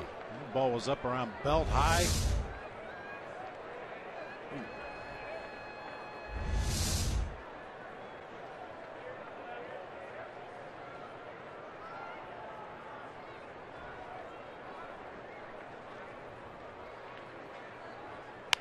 Bounce down the line right to Andy Green.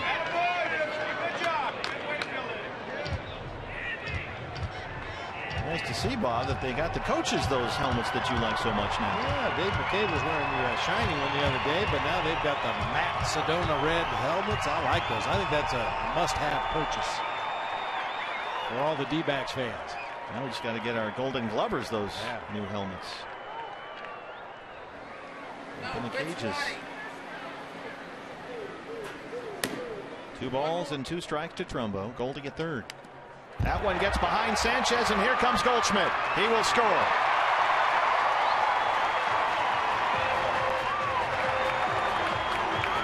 Well, Heston almost did that early in the ball game when the Diamondbacks had a runner at third, and that time he brings in a run. His second wild pitch in this inning. Sanchez a little tough with the hands back there. It looked like it could have been a pass ball. He just kind of reached across his body and uh, didn't catch the pitch. Goldie had to shorten up his lead a little bit that time because McGehee was closer to the bag at third, but still scores easily as that ball got away. Lucky didn't collide with Heston there. In the meantime, it's a full count to Trumbo.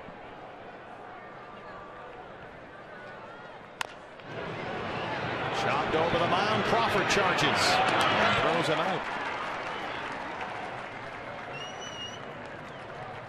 Well, here's Jake Lamb saying he feels more confident at the plate this year, and assistant hitting coach Mark Grace agrees. This guy's got a world of talent. Uh, now he's now he's got a world of confidence, and uh, so you, you, you put those two things together, it makes a pretty dangerous baseball player, and that's what he's become. Uh, I think the confidence that he won the job coming out of spring training. Uh, I think that's what he did in spring training more than anything. He worked on he worked on what he's good at. He worked on his strengths, but he also I think mentally, he, he came out on top in the third base job, and I think that's, uh, like I said, that makes for a dangerous baseball player when he's confident like that. Well, I'd say seven RBIs in the first two games is pretty dangerous, a new D backs record.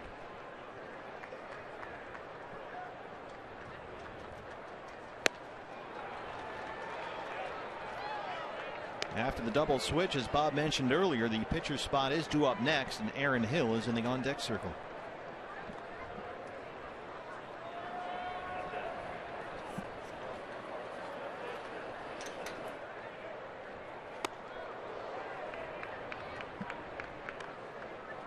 Can you tell as the manager when a guy's walking around feeling a little more confident, a young guy like this? Oh, yeah. You can tell by the body language, a little bit more spring in their step.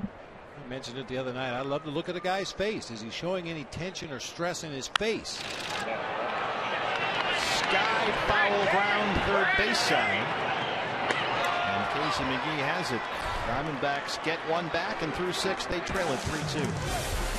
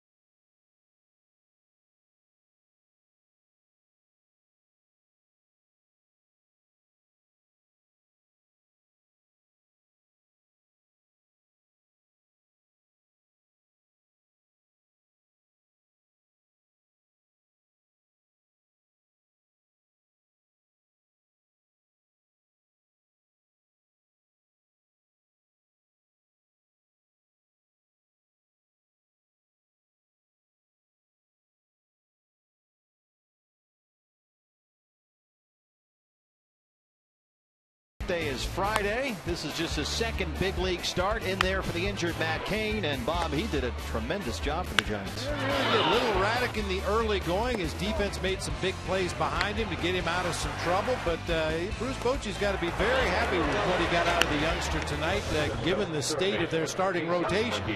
Yeah, he'll be 27 on Friday, just his second major league start. Right now, he's in line for the win. The Diamondbacks trail at 3-2. Our Gila River game summary. Nori Aoki has been aboard three times. Giants got two in the second after the Diamondbacks scored a run without a hit against Heston in the first. He retired the next 10 he faced after that. It was 3-1 San Francisco. D-backs just got one back after the Goldie double. And now Randall Delgado is out there to start the seventh in a 3-2 ball game. We saw Randall last night. Pitched one inning, gave up a hit, had a strikeout, 18 pitches. He worked the seventh, and he's back out there in the seventh here. And what turned out to be, in effect, a one, two, three inning. He did give up the single to Buster Posey, but Tuffy picked him off first base. Yeah.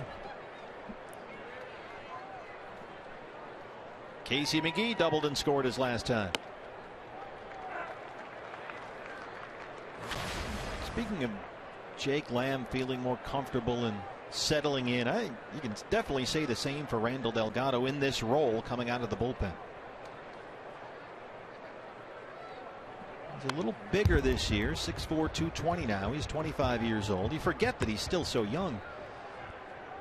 But uh, he's a big guy out there, and he's throwing hard. Well, sometimes that confidence comes after you've had, I don't know if I would call it failure, but Randall was competing for that number five starter job in uh, spring training last year. That one at 94 is on the ground to second. CO spins and throws it out. Wow. I mean, you know, for a lot of guys that have had nothing but success in high school or college or throughout the minor leagues, uh, the, the first time you bump up against some adversity, it does rattle your confidence a little bit. But uh, once you realize, like I was talking about with Jake Lamb earlier, that I know I can do this, I've done it before, I can do it again. Yeah, you, you start to see it as the way they approach their game, the way they carry themselves, the things they expect of themselves.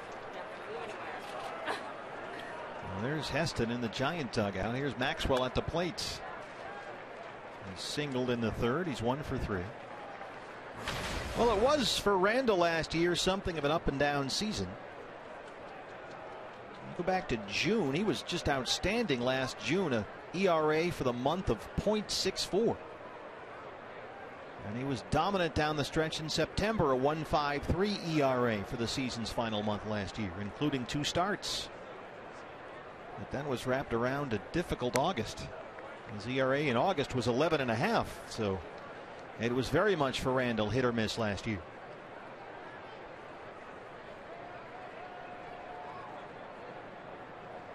And he had a very good spring training. Maxwell gets that up in the air, sends Peralta to the wall.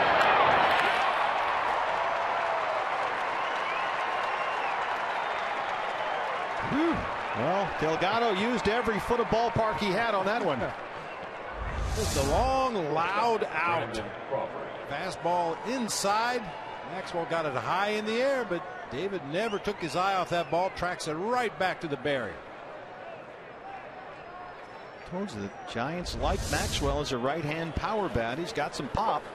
Just missed one there. On a cool night here at Chase. Two down now for Crawford. Singleton scored in the second, an RBI single in the fifth. He looks at strike one. That is Bob, the churro dog. And that is the new sensation. Sky to shallow center. Pollock coming in.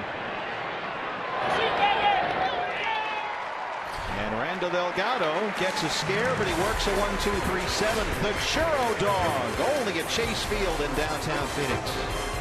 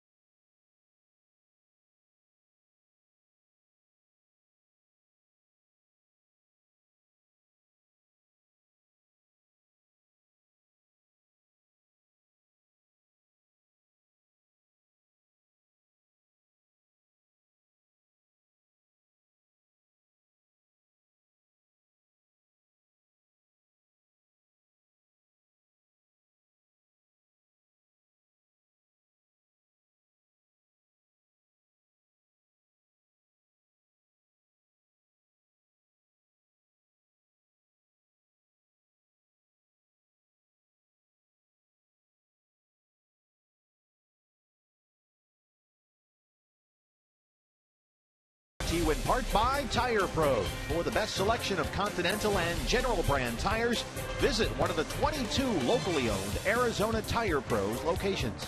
And by Chas Roberts, Air Conditioning and Plumbing. Choose Chas. The DBAT dog here at Chase Field, bottom seven, Chris Heston's night has ended. The pitcher spot due to lead off beginning for the Diamondbacks. And so Bruce Bochy waited until Aaron Hill was announced as the pinch hitter. So Hill will hit for the pitcher. And there's a new pitcher coming in for the Giants back after this.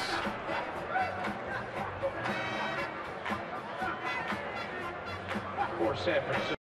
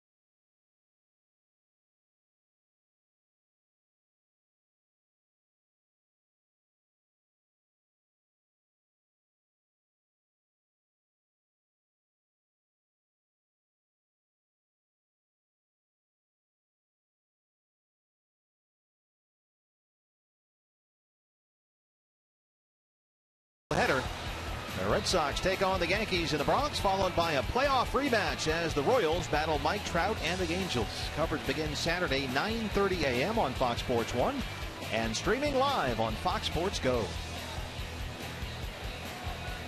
New pitcher for the Giants. He's become a key part of this bullpen, a career high 71 relief appearances last year. This is the right hander, Jean Machi, and he'll work to Aaron Hill, who will hit for the pitcher. Pitcher spot now seventh in the Arizona order. We saw Machi work one third of an inning Monday in the opener. Didn't go all that well for him.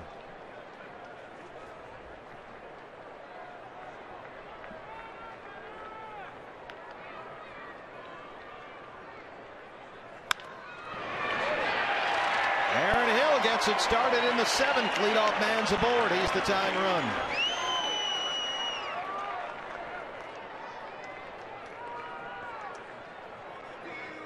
Shortstop, Cliff Pennington. Well, when you're the number two hitter in the inning, you love to see that leadoff guy get on, especially if you're a left-handed hitter that can hook a ball through that hole on the right side. Anytime you can weaken that defense with a base runner, uh, that next hitter loves it. Penny doubled to lead off the fifth. McGehee in on the grass at third. Pennington shows bunt, pops it up. And she lets it land. And they're going to have an issue here.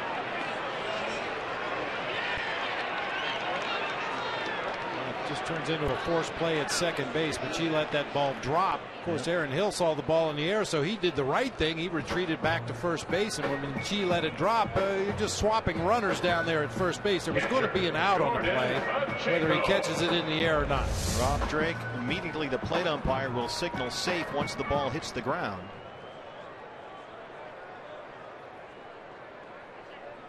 And now it's just pick your poison. So that scored a fielder's choice. And it brings up Jordan Pacheco.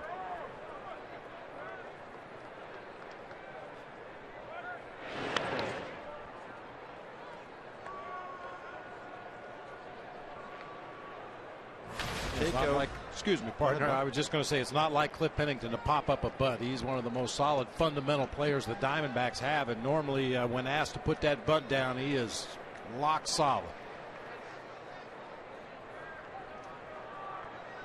Jordan came in to catch for Gerald Laird after a double switch earlier in the ball game.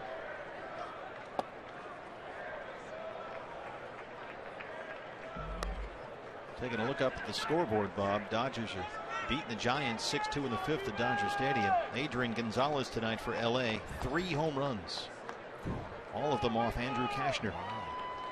I think Brandon McCarthy started that game for the Dodgers, I believe. Yes, he did. Boy, Gonzalez has got five homers already. Oh, Dodgers coming in here this weekend. Big weekend at Chase Field. Fireworks on Friday. Hello Kitty bobblehead on Saturday. Multicultural Street Festival on Sunday. And how about Saturday's ball game? That is a must see. Archie Bradley's major league debut comes against Clayton Kershaw. The one out of Pacheco. That's going to be something. That's going to be fun. Been waiting for that ball game. I know Archie's been waiting a long Oh, time. I think we all have too. Oh, yeah. But how about uh, just the synergy there? Bradley and Kershaw. Both guys, by the way, seventh overall picks in the draft out of high school. Kershaw five years earlier out of Texas. And Archie out of Oklahoma. Pacheco drives it to right. Maxwell has room. Two down.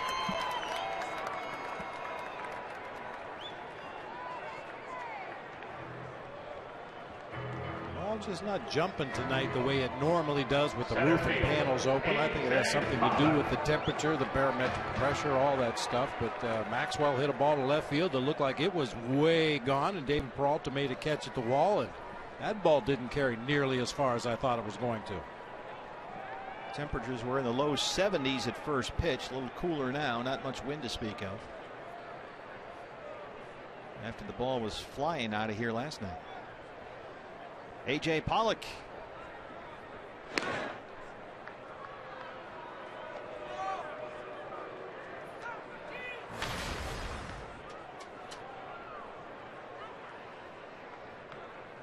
AJ was hit by a pitch to lead off the first for Arizona. Got to third on a two base throwing error by Heston, the pitcher, and scored on an Owings ground out when the Diamondbacks scored the game's first run without the benefit of a base hit.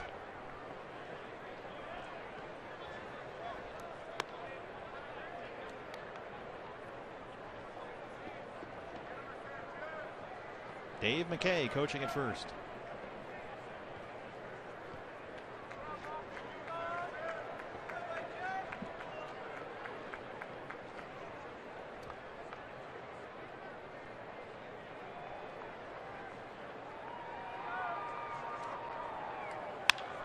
Hard to third. McGehee knocks it down. And throws him out. Leadoff single goes for naught. We are through seven, and the Diamondbacks trail at 3 2. It's another one run ball game here at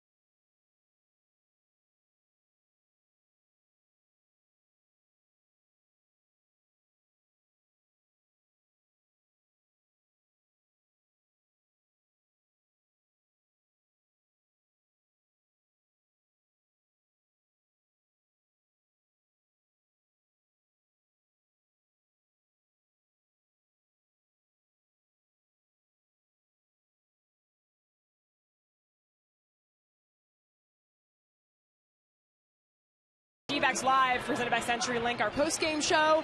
And Joe, tonight in the pregame show, I talked about Jeremy Hellickson, you know, a veteran pitcher. Chris Heston, a guy who was only making his second major league start, and maybe on paper the D-backs could have had an advantage against him.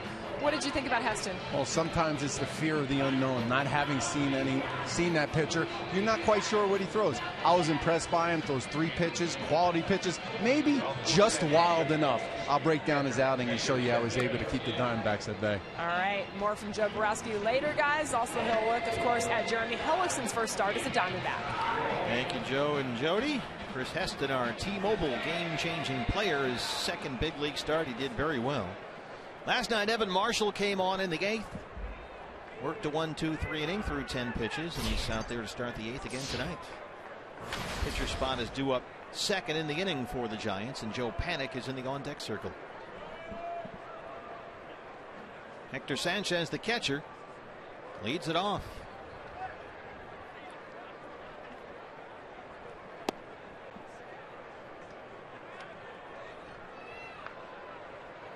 He's poised to make a catch there.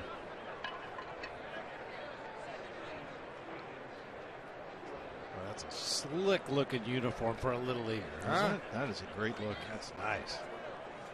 And around to Owings, and it gets under the glove and into right. Sanchez aboard for the second time tonight. Top spin grounder kind of picking up speed as it went through that infield. Chris just didn't get his glove to the spot that time. He scored a base hit. Now Panik was in the on deck circle. He's back in the dugout now, and apparently Gregor Blanco will take the at bat in the pitcher spot.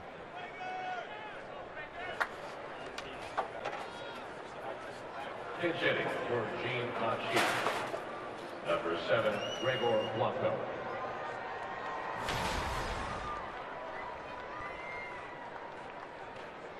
Mike Harkey out to the mound. Quick review of the scouting report on Gregor Blanco. Also, uh, probably defensively to talk about what they're going to do should uh, Blanco attempt to bunt Sanchez up to second base. Now, earlier in the ball game when Sanchez was on first, uh, we saw Bruce Bochy start him towards second base on a sacrifice bunt attempt by the pitcher Heston. Mentioned the fact Sanchez does not run particularly well, and even on a good bunt, if he's not breaking for second as the pitch is delivered, he might not get to second base. Fans, baseball is finally here. It's happening all around us, so grab a Pepsi and some friends and get out to a D-backs game. Live it. It's for the thrill of the game. Pepsi, live for now. Pepsi is the official soft drink of the Arizona Diamondbacks. So Jake Lamb will come in on the grass at third. Goldie holding Sanchez on the bag at first, and Gregor Blanco steps in. He has started the first two games of the series in right field. Went 0 for 4 Monday. 1 for 4 last night, doubled and scored a run. Joe's bunt, and it's foul.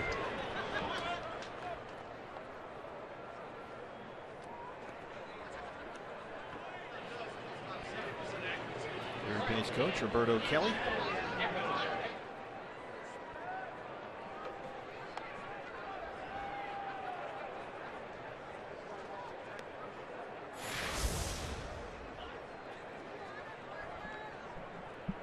FoxSportsArizona.com. All your Arizona sports news on there. You can read about Gonzo tonight. Mm -hmm. You can't forget to mention Gonzo being inducted into the Arizona Hall of Fame.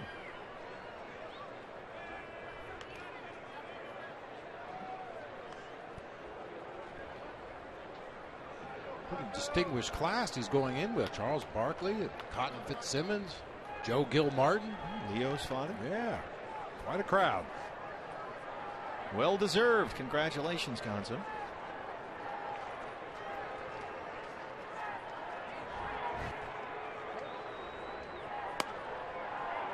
One and one. Well, Leo, of course, uh, not working with the with the Gubman Candy next to us on the radio side. He's uh, at the ceremonies, honoring his dad, of course, who's also in the Basketball Hall of Fame. That's Leo's usual seat.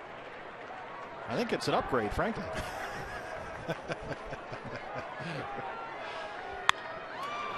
In the air, left field, David Peralta.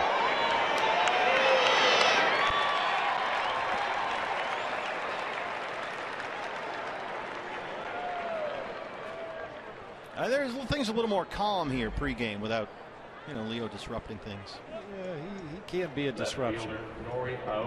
Daily. Nori Aoki.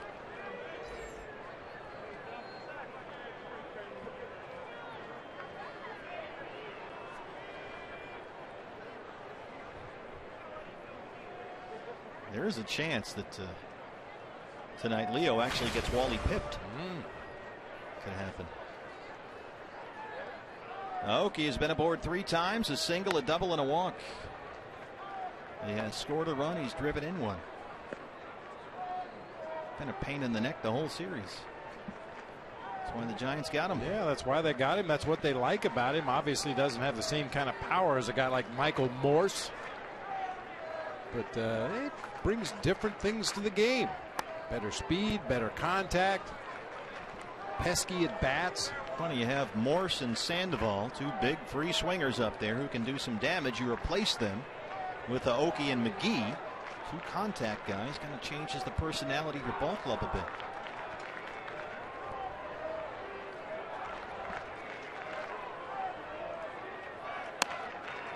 There's a strike, two and one.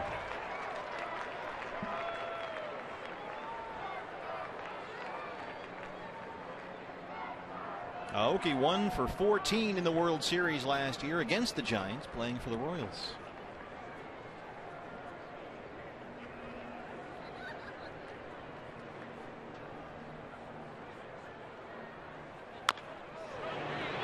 Chop foul, two and two.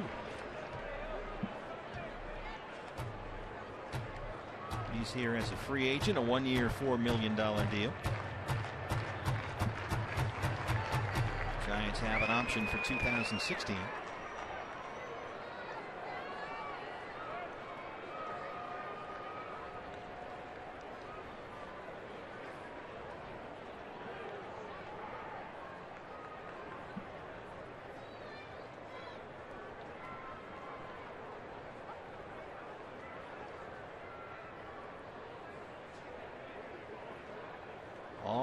By Marshall. Steps off. That's a design play. That's a sign that comes from the bench to the catcher, from the catcher to the pitcher. Just come to a set position and hold the ball. See if the runner at first or the batter at the plate will tip something, maybe a hit and run on.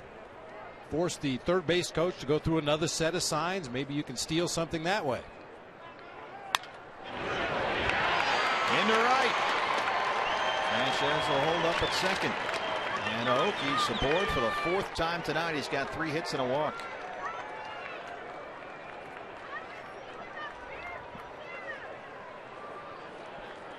Fans every weeknight don't miss MLB Whip Around on Fox Sports 1. You'll get highlights, instant analysis, and live look ins from around the major leagues. MLB Whip Around weeknights at 4 on Fox Sports 1 and streaming live on Fox Sports Go.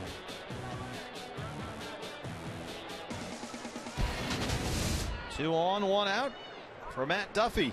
He's got a pair of hits. RBI double in the second, singled in the fourth.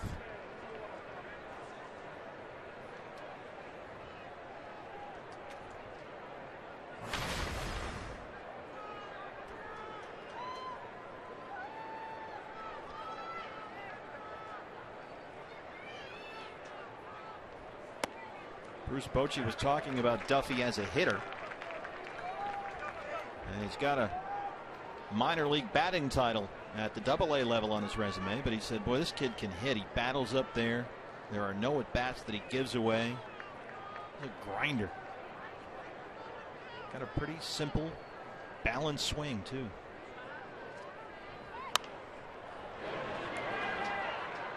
That time Evan Marshall able to beat him with a fastball in.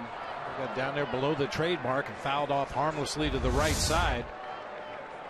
That'll happen occasionally, even to a good fastball hitter. When you start the sequence with a breaking ball for a strike and then come back with a fastball inside, it's not uncommon for that hitter to be a little tardy on that heater.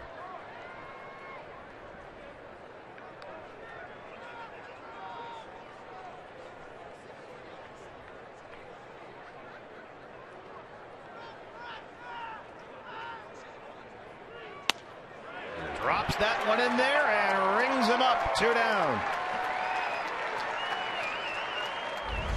Couple of real nice breaking balls in that sequence, sandwiched around that fastball inside, just dropped it right in there. Well, here's that Pagan guy again. Seems like he's up every other time. Giant bullpen busy. Sergio Romo is throwing. Pagan doubled his last time up.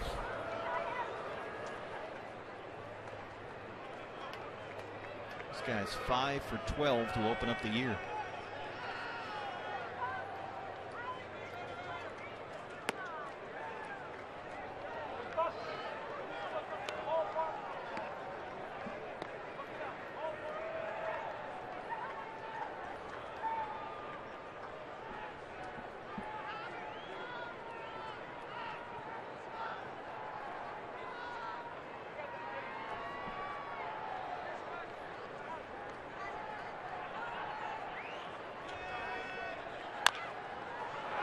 That's a fair On it. And he throws him out. A pair of singles go for naught. We go to the home half of the eighth. Owings, Goldschmidt, Peralta, two, three, and four coming up.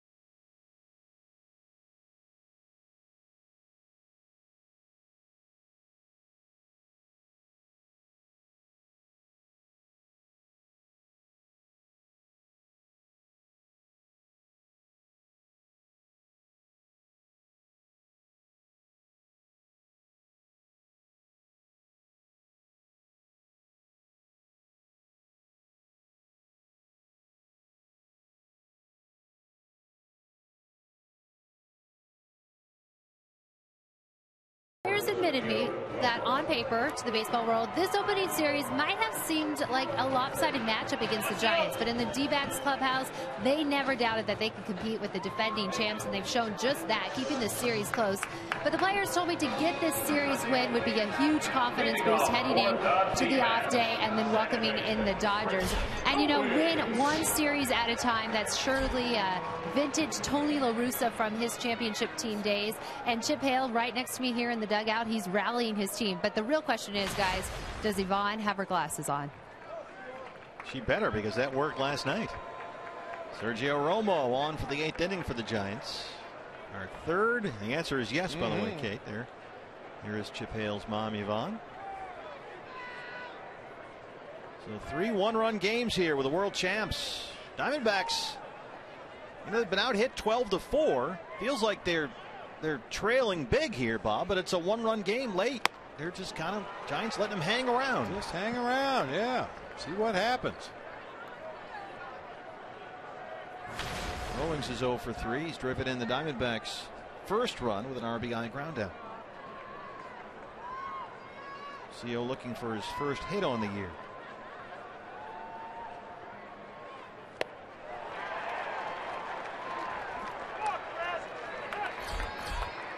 Goldie on deck. And Peralta behind him.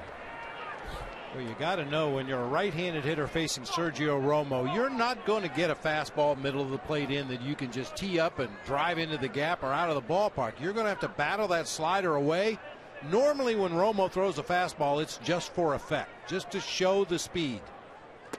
Chases a slider there, and it's a strikeout.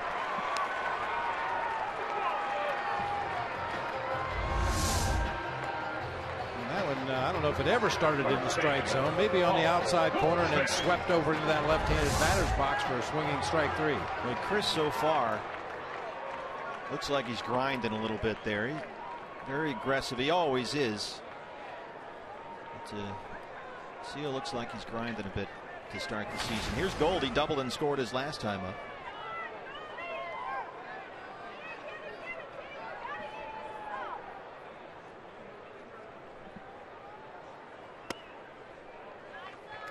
That's an example of what I'm talking about right there. Romo with an 87 mile an hour two seam fastball, but keeps it out of the zone. He better. Yeah. Good numbers for Goldie against the Giants reliever.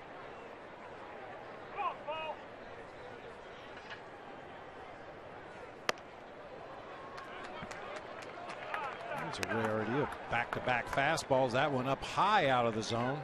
And just because it's a 2 0 count, no guarantee you're going to get a fastball. He's just as likely to throw a slider in this count as anything.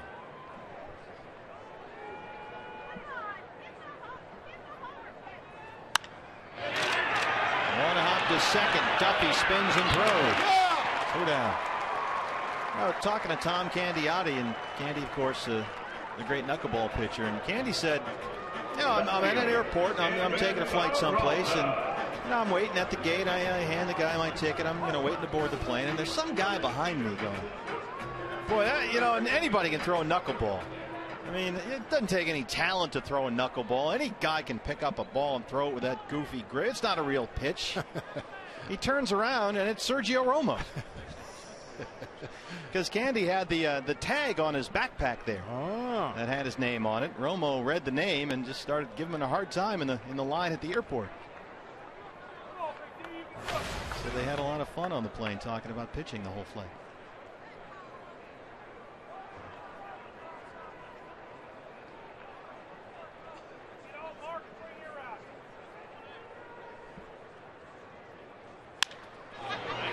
Crawford at short. Romo comes in, faces the heart of the order, and works a 1 2 3 8. It's off to the ninth. It's another one run game.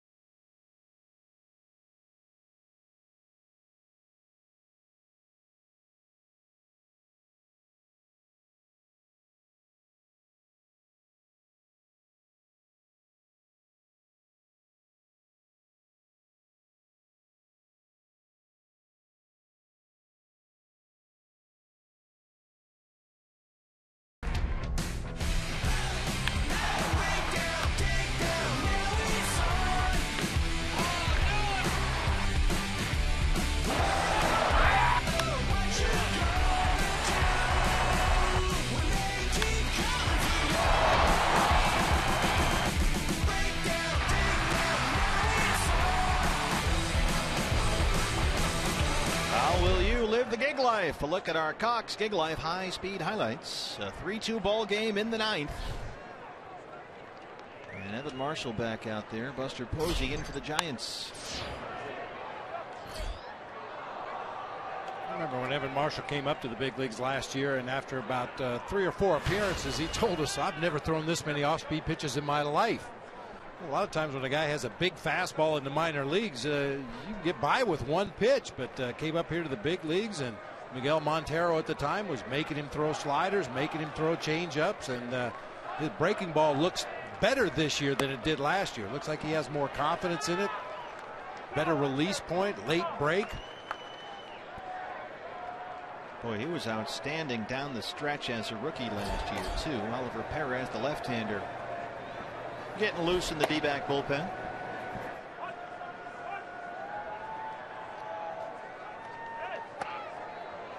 Go down over his last 37 appearances last season. Evan Marshall pitched to a 1.80 ERA. Had 35 strikeouts in his last 30 innings. But Posey's got good numbers against him, small sample size. Hitters count two balls and a strike. Right center, AJ coming in. That drops in front of Trumbo.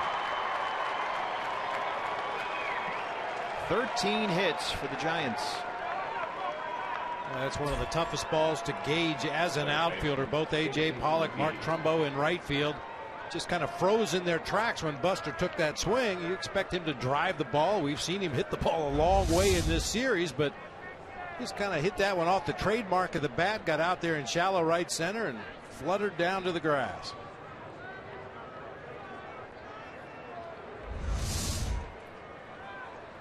Leadoff man aboard. Casey McGehee doubled and scored in the fifth. He's one for four.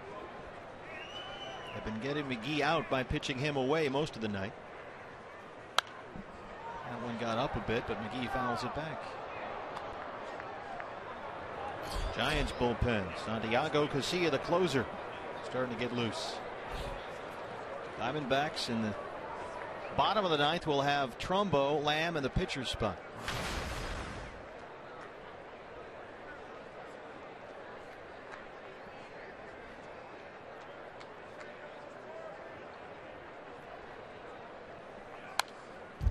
Oh and 2.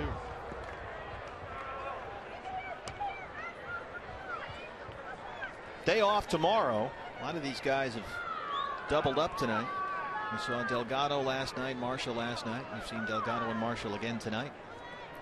Chase Anderson will pitch against the Dodgers Friday in the series opener. So Chip Hale figuring with a day off can use some of his key back end guys on back to back nights. Hard to left. Peralta backs up. And that ball is gone. Let's see here. We had a fan lean way over. Don't write anything down in ink yet. Casey McGehee, a two-run homer, and we'll see if the Diamondbacks want to talk fan interference here. Chip Hale is looking back. Glenn Sherlock on the phone with Alan Campbell, the Diamondbacks video coordinator. That was a line drive. They may have a case. Rob Drake, the plate umpire, just sort of hanging around looking at Chip to see if he wants to challenge this. It appeared that ball was going to clear the yellow stripe out there in left field, even though a fan didn't make contact with it. And there will be no challenge, apparently, from the D-back dugout. Yeah, that's gone. Well, hold on. Here he comes. He's going to go to the bullpen. He's got Perez loosening. And he'll go to the left-hander here.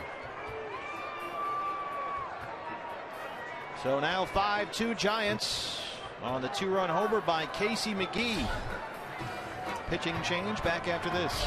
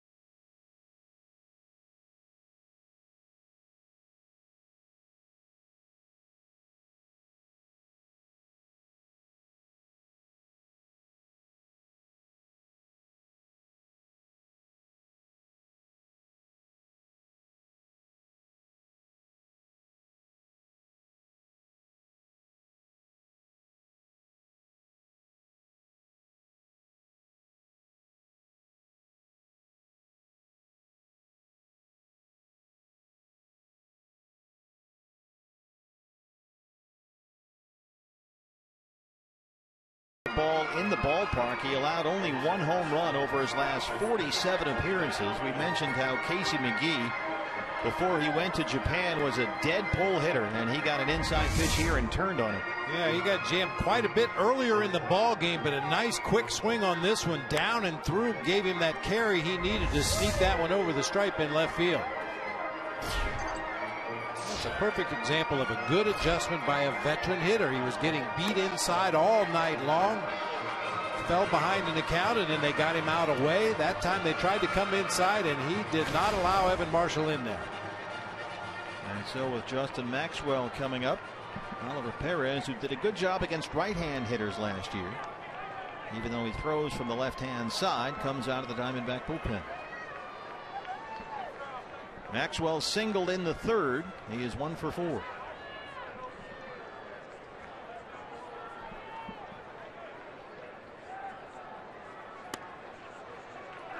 Giants have now out hit the D backs 14 to 4.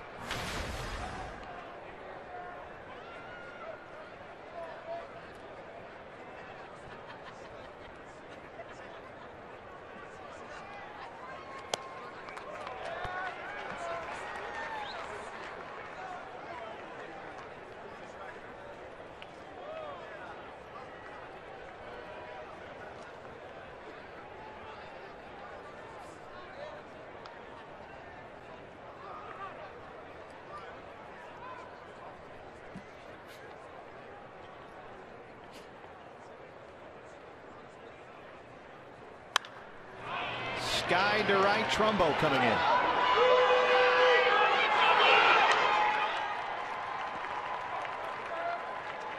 Speaking of home runs, Bob, we mentioned the Dodgers. They lead the Padres 6-4. Adrian Gonzalez has five home runs in his first 12 at bats this season. He's homered three times tonight, all three times off San Diego's Andrew Cashner. Gonzalez, the first player in baseball history to hit five home runs in his team's first three games. Mm. And he's coming in here on Friday. But the ball wasn't supposed to carry well at Dodger Stadium at night. Especially in April. And it's supposed to carry really well here. the world's upside down.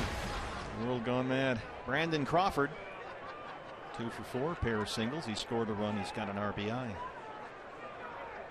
Hey, when Adrian Gonzalez gets in one of those streaks, he might hit two more tomorrow. Yeah. Just, all those guys, he's red, red hot. He's seeing the ball big, and when he sees the ball big, he hits it a long way. Well, he had that very, very serious shoulder injury and said after the operation for well, more than a year afterward, hey, I'm not a home run hitter anymore. I, I don't have the, the flexibility, the shoulder strength to do that. But now that he's got that operation off in the distance, that power is returned. Padres hanging around down two in the sixth in LA. Padres got a few guys that might hit some home runs this year too.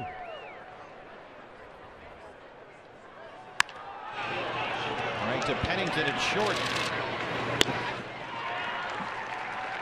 Our Chas Roberts air conditioning cool play the game when Brandon Crawford was up to end the third. AJ Pollock goes and gets it.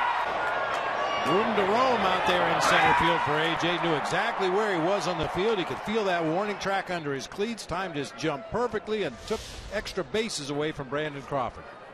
I would put him up defensively with any center fielder in baseball. I'm right there with you. Great routes, covers so much ground in those gaps. Hector Sanchez, two for four.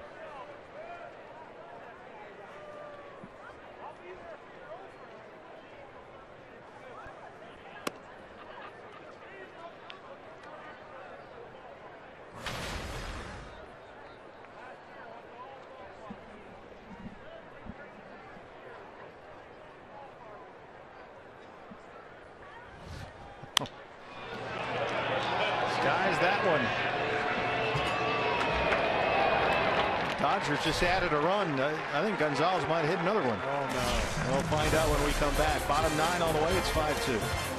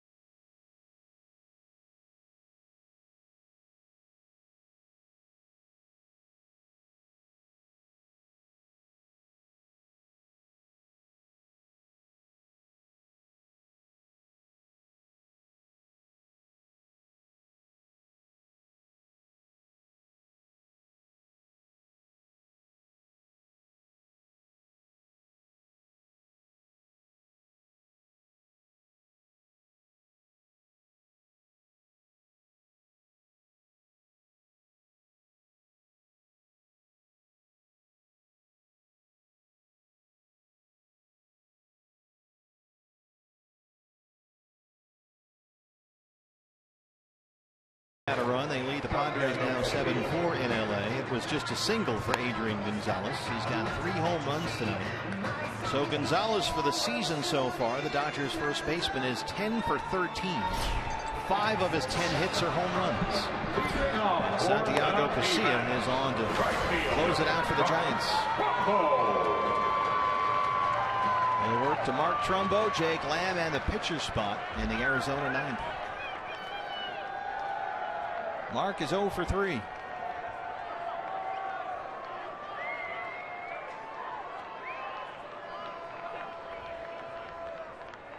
The rally gloves are on. Whatever it takes. He's here to win. Going to need four runs.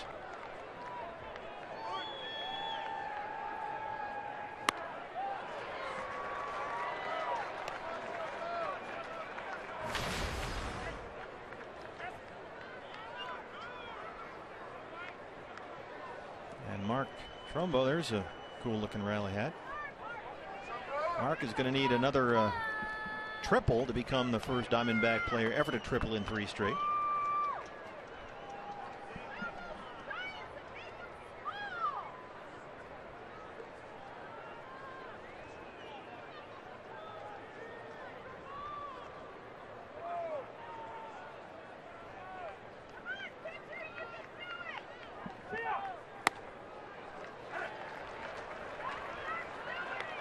Fastball right down the middle, 0 2.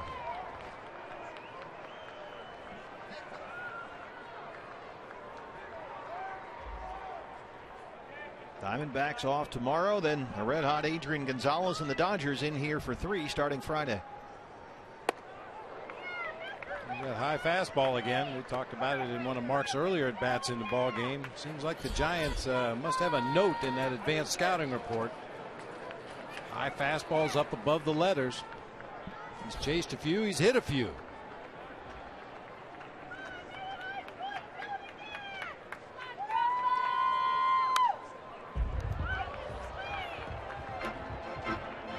I mean, he can turn on those pitch and pitches and drive them out of here.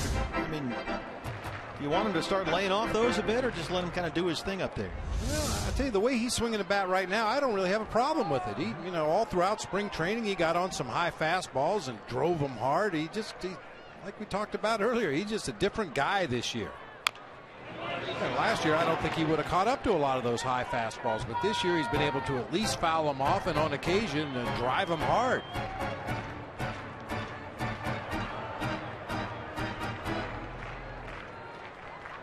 Start swinging pitches over your helmet, then maybe it's time to lower your sights a little bit.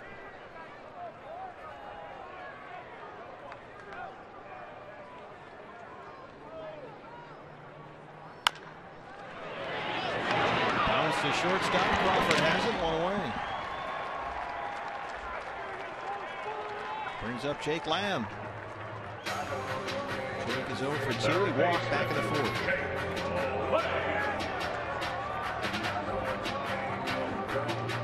First player in the major leagues with at least seven RBIs in the first two games of the season since Baltimore's Chris Davis two years ago. And the first rookie to drive in seven in his first two games in more than half a century.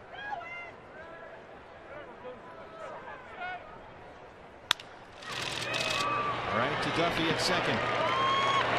Two down. Ciarte in the on deck circle, and Ender will hit for the pitcher, which is the seven spot in the Diamondback order.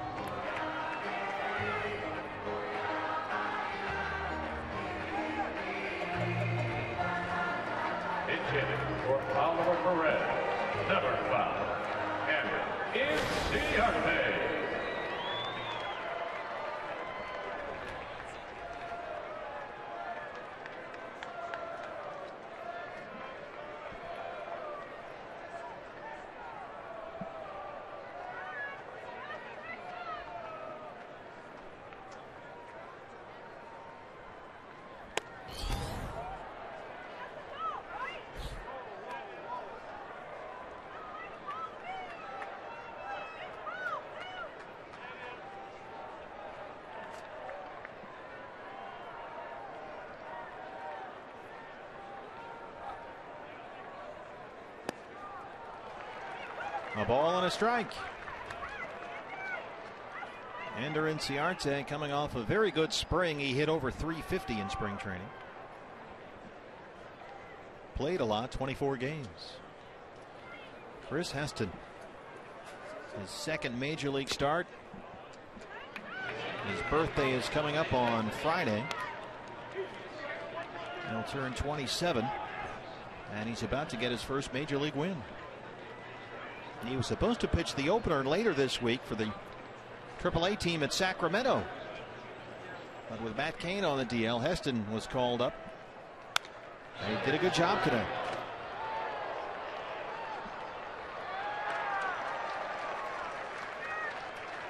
Matt Cain is going to go back to San Francisco to get checked out by the Giants doctors. A strained flexor tendon in his throwing arm. So Heston may be up here for a while. Likely run into him again down the road with all the injuries the Giants have in their rotation. Two balls, two strikes, two outs. Inciarte shoots it the other way, and the Diamondbacks are still alive.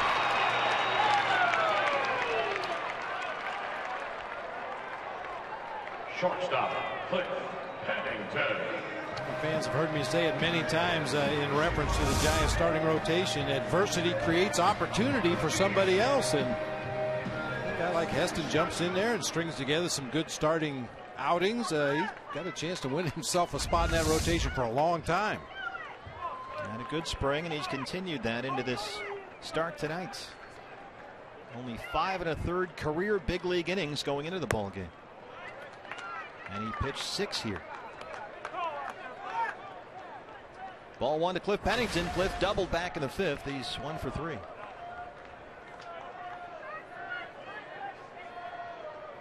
Matt Cain on the DL for the fifth time since August of 2013. So five DL trips in less than two years. Inciarte will take second on defensive indifference as Pennington takes a strike.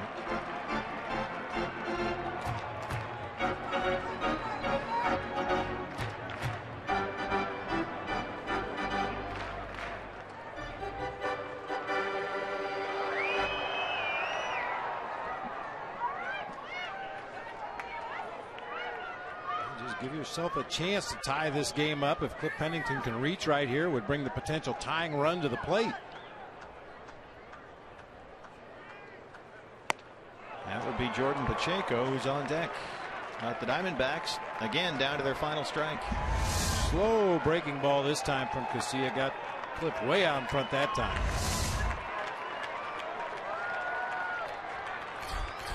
Pacheco would be next. Need one more base runner here.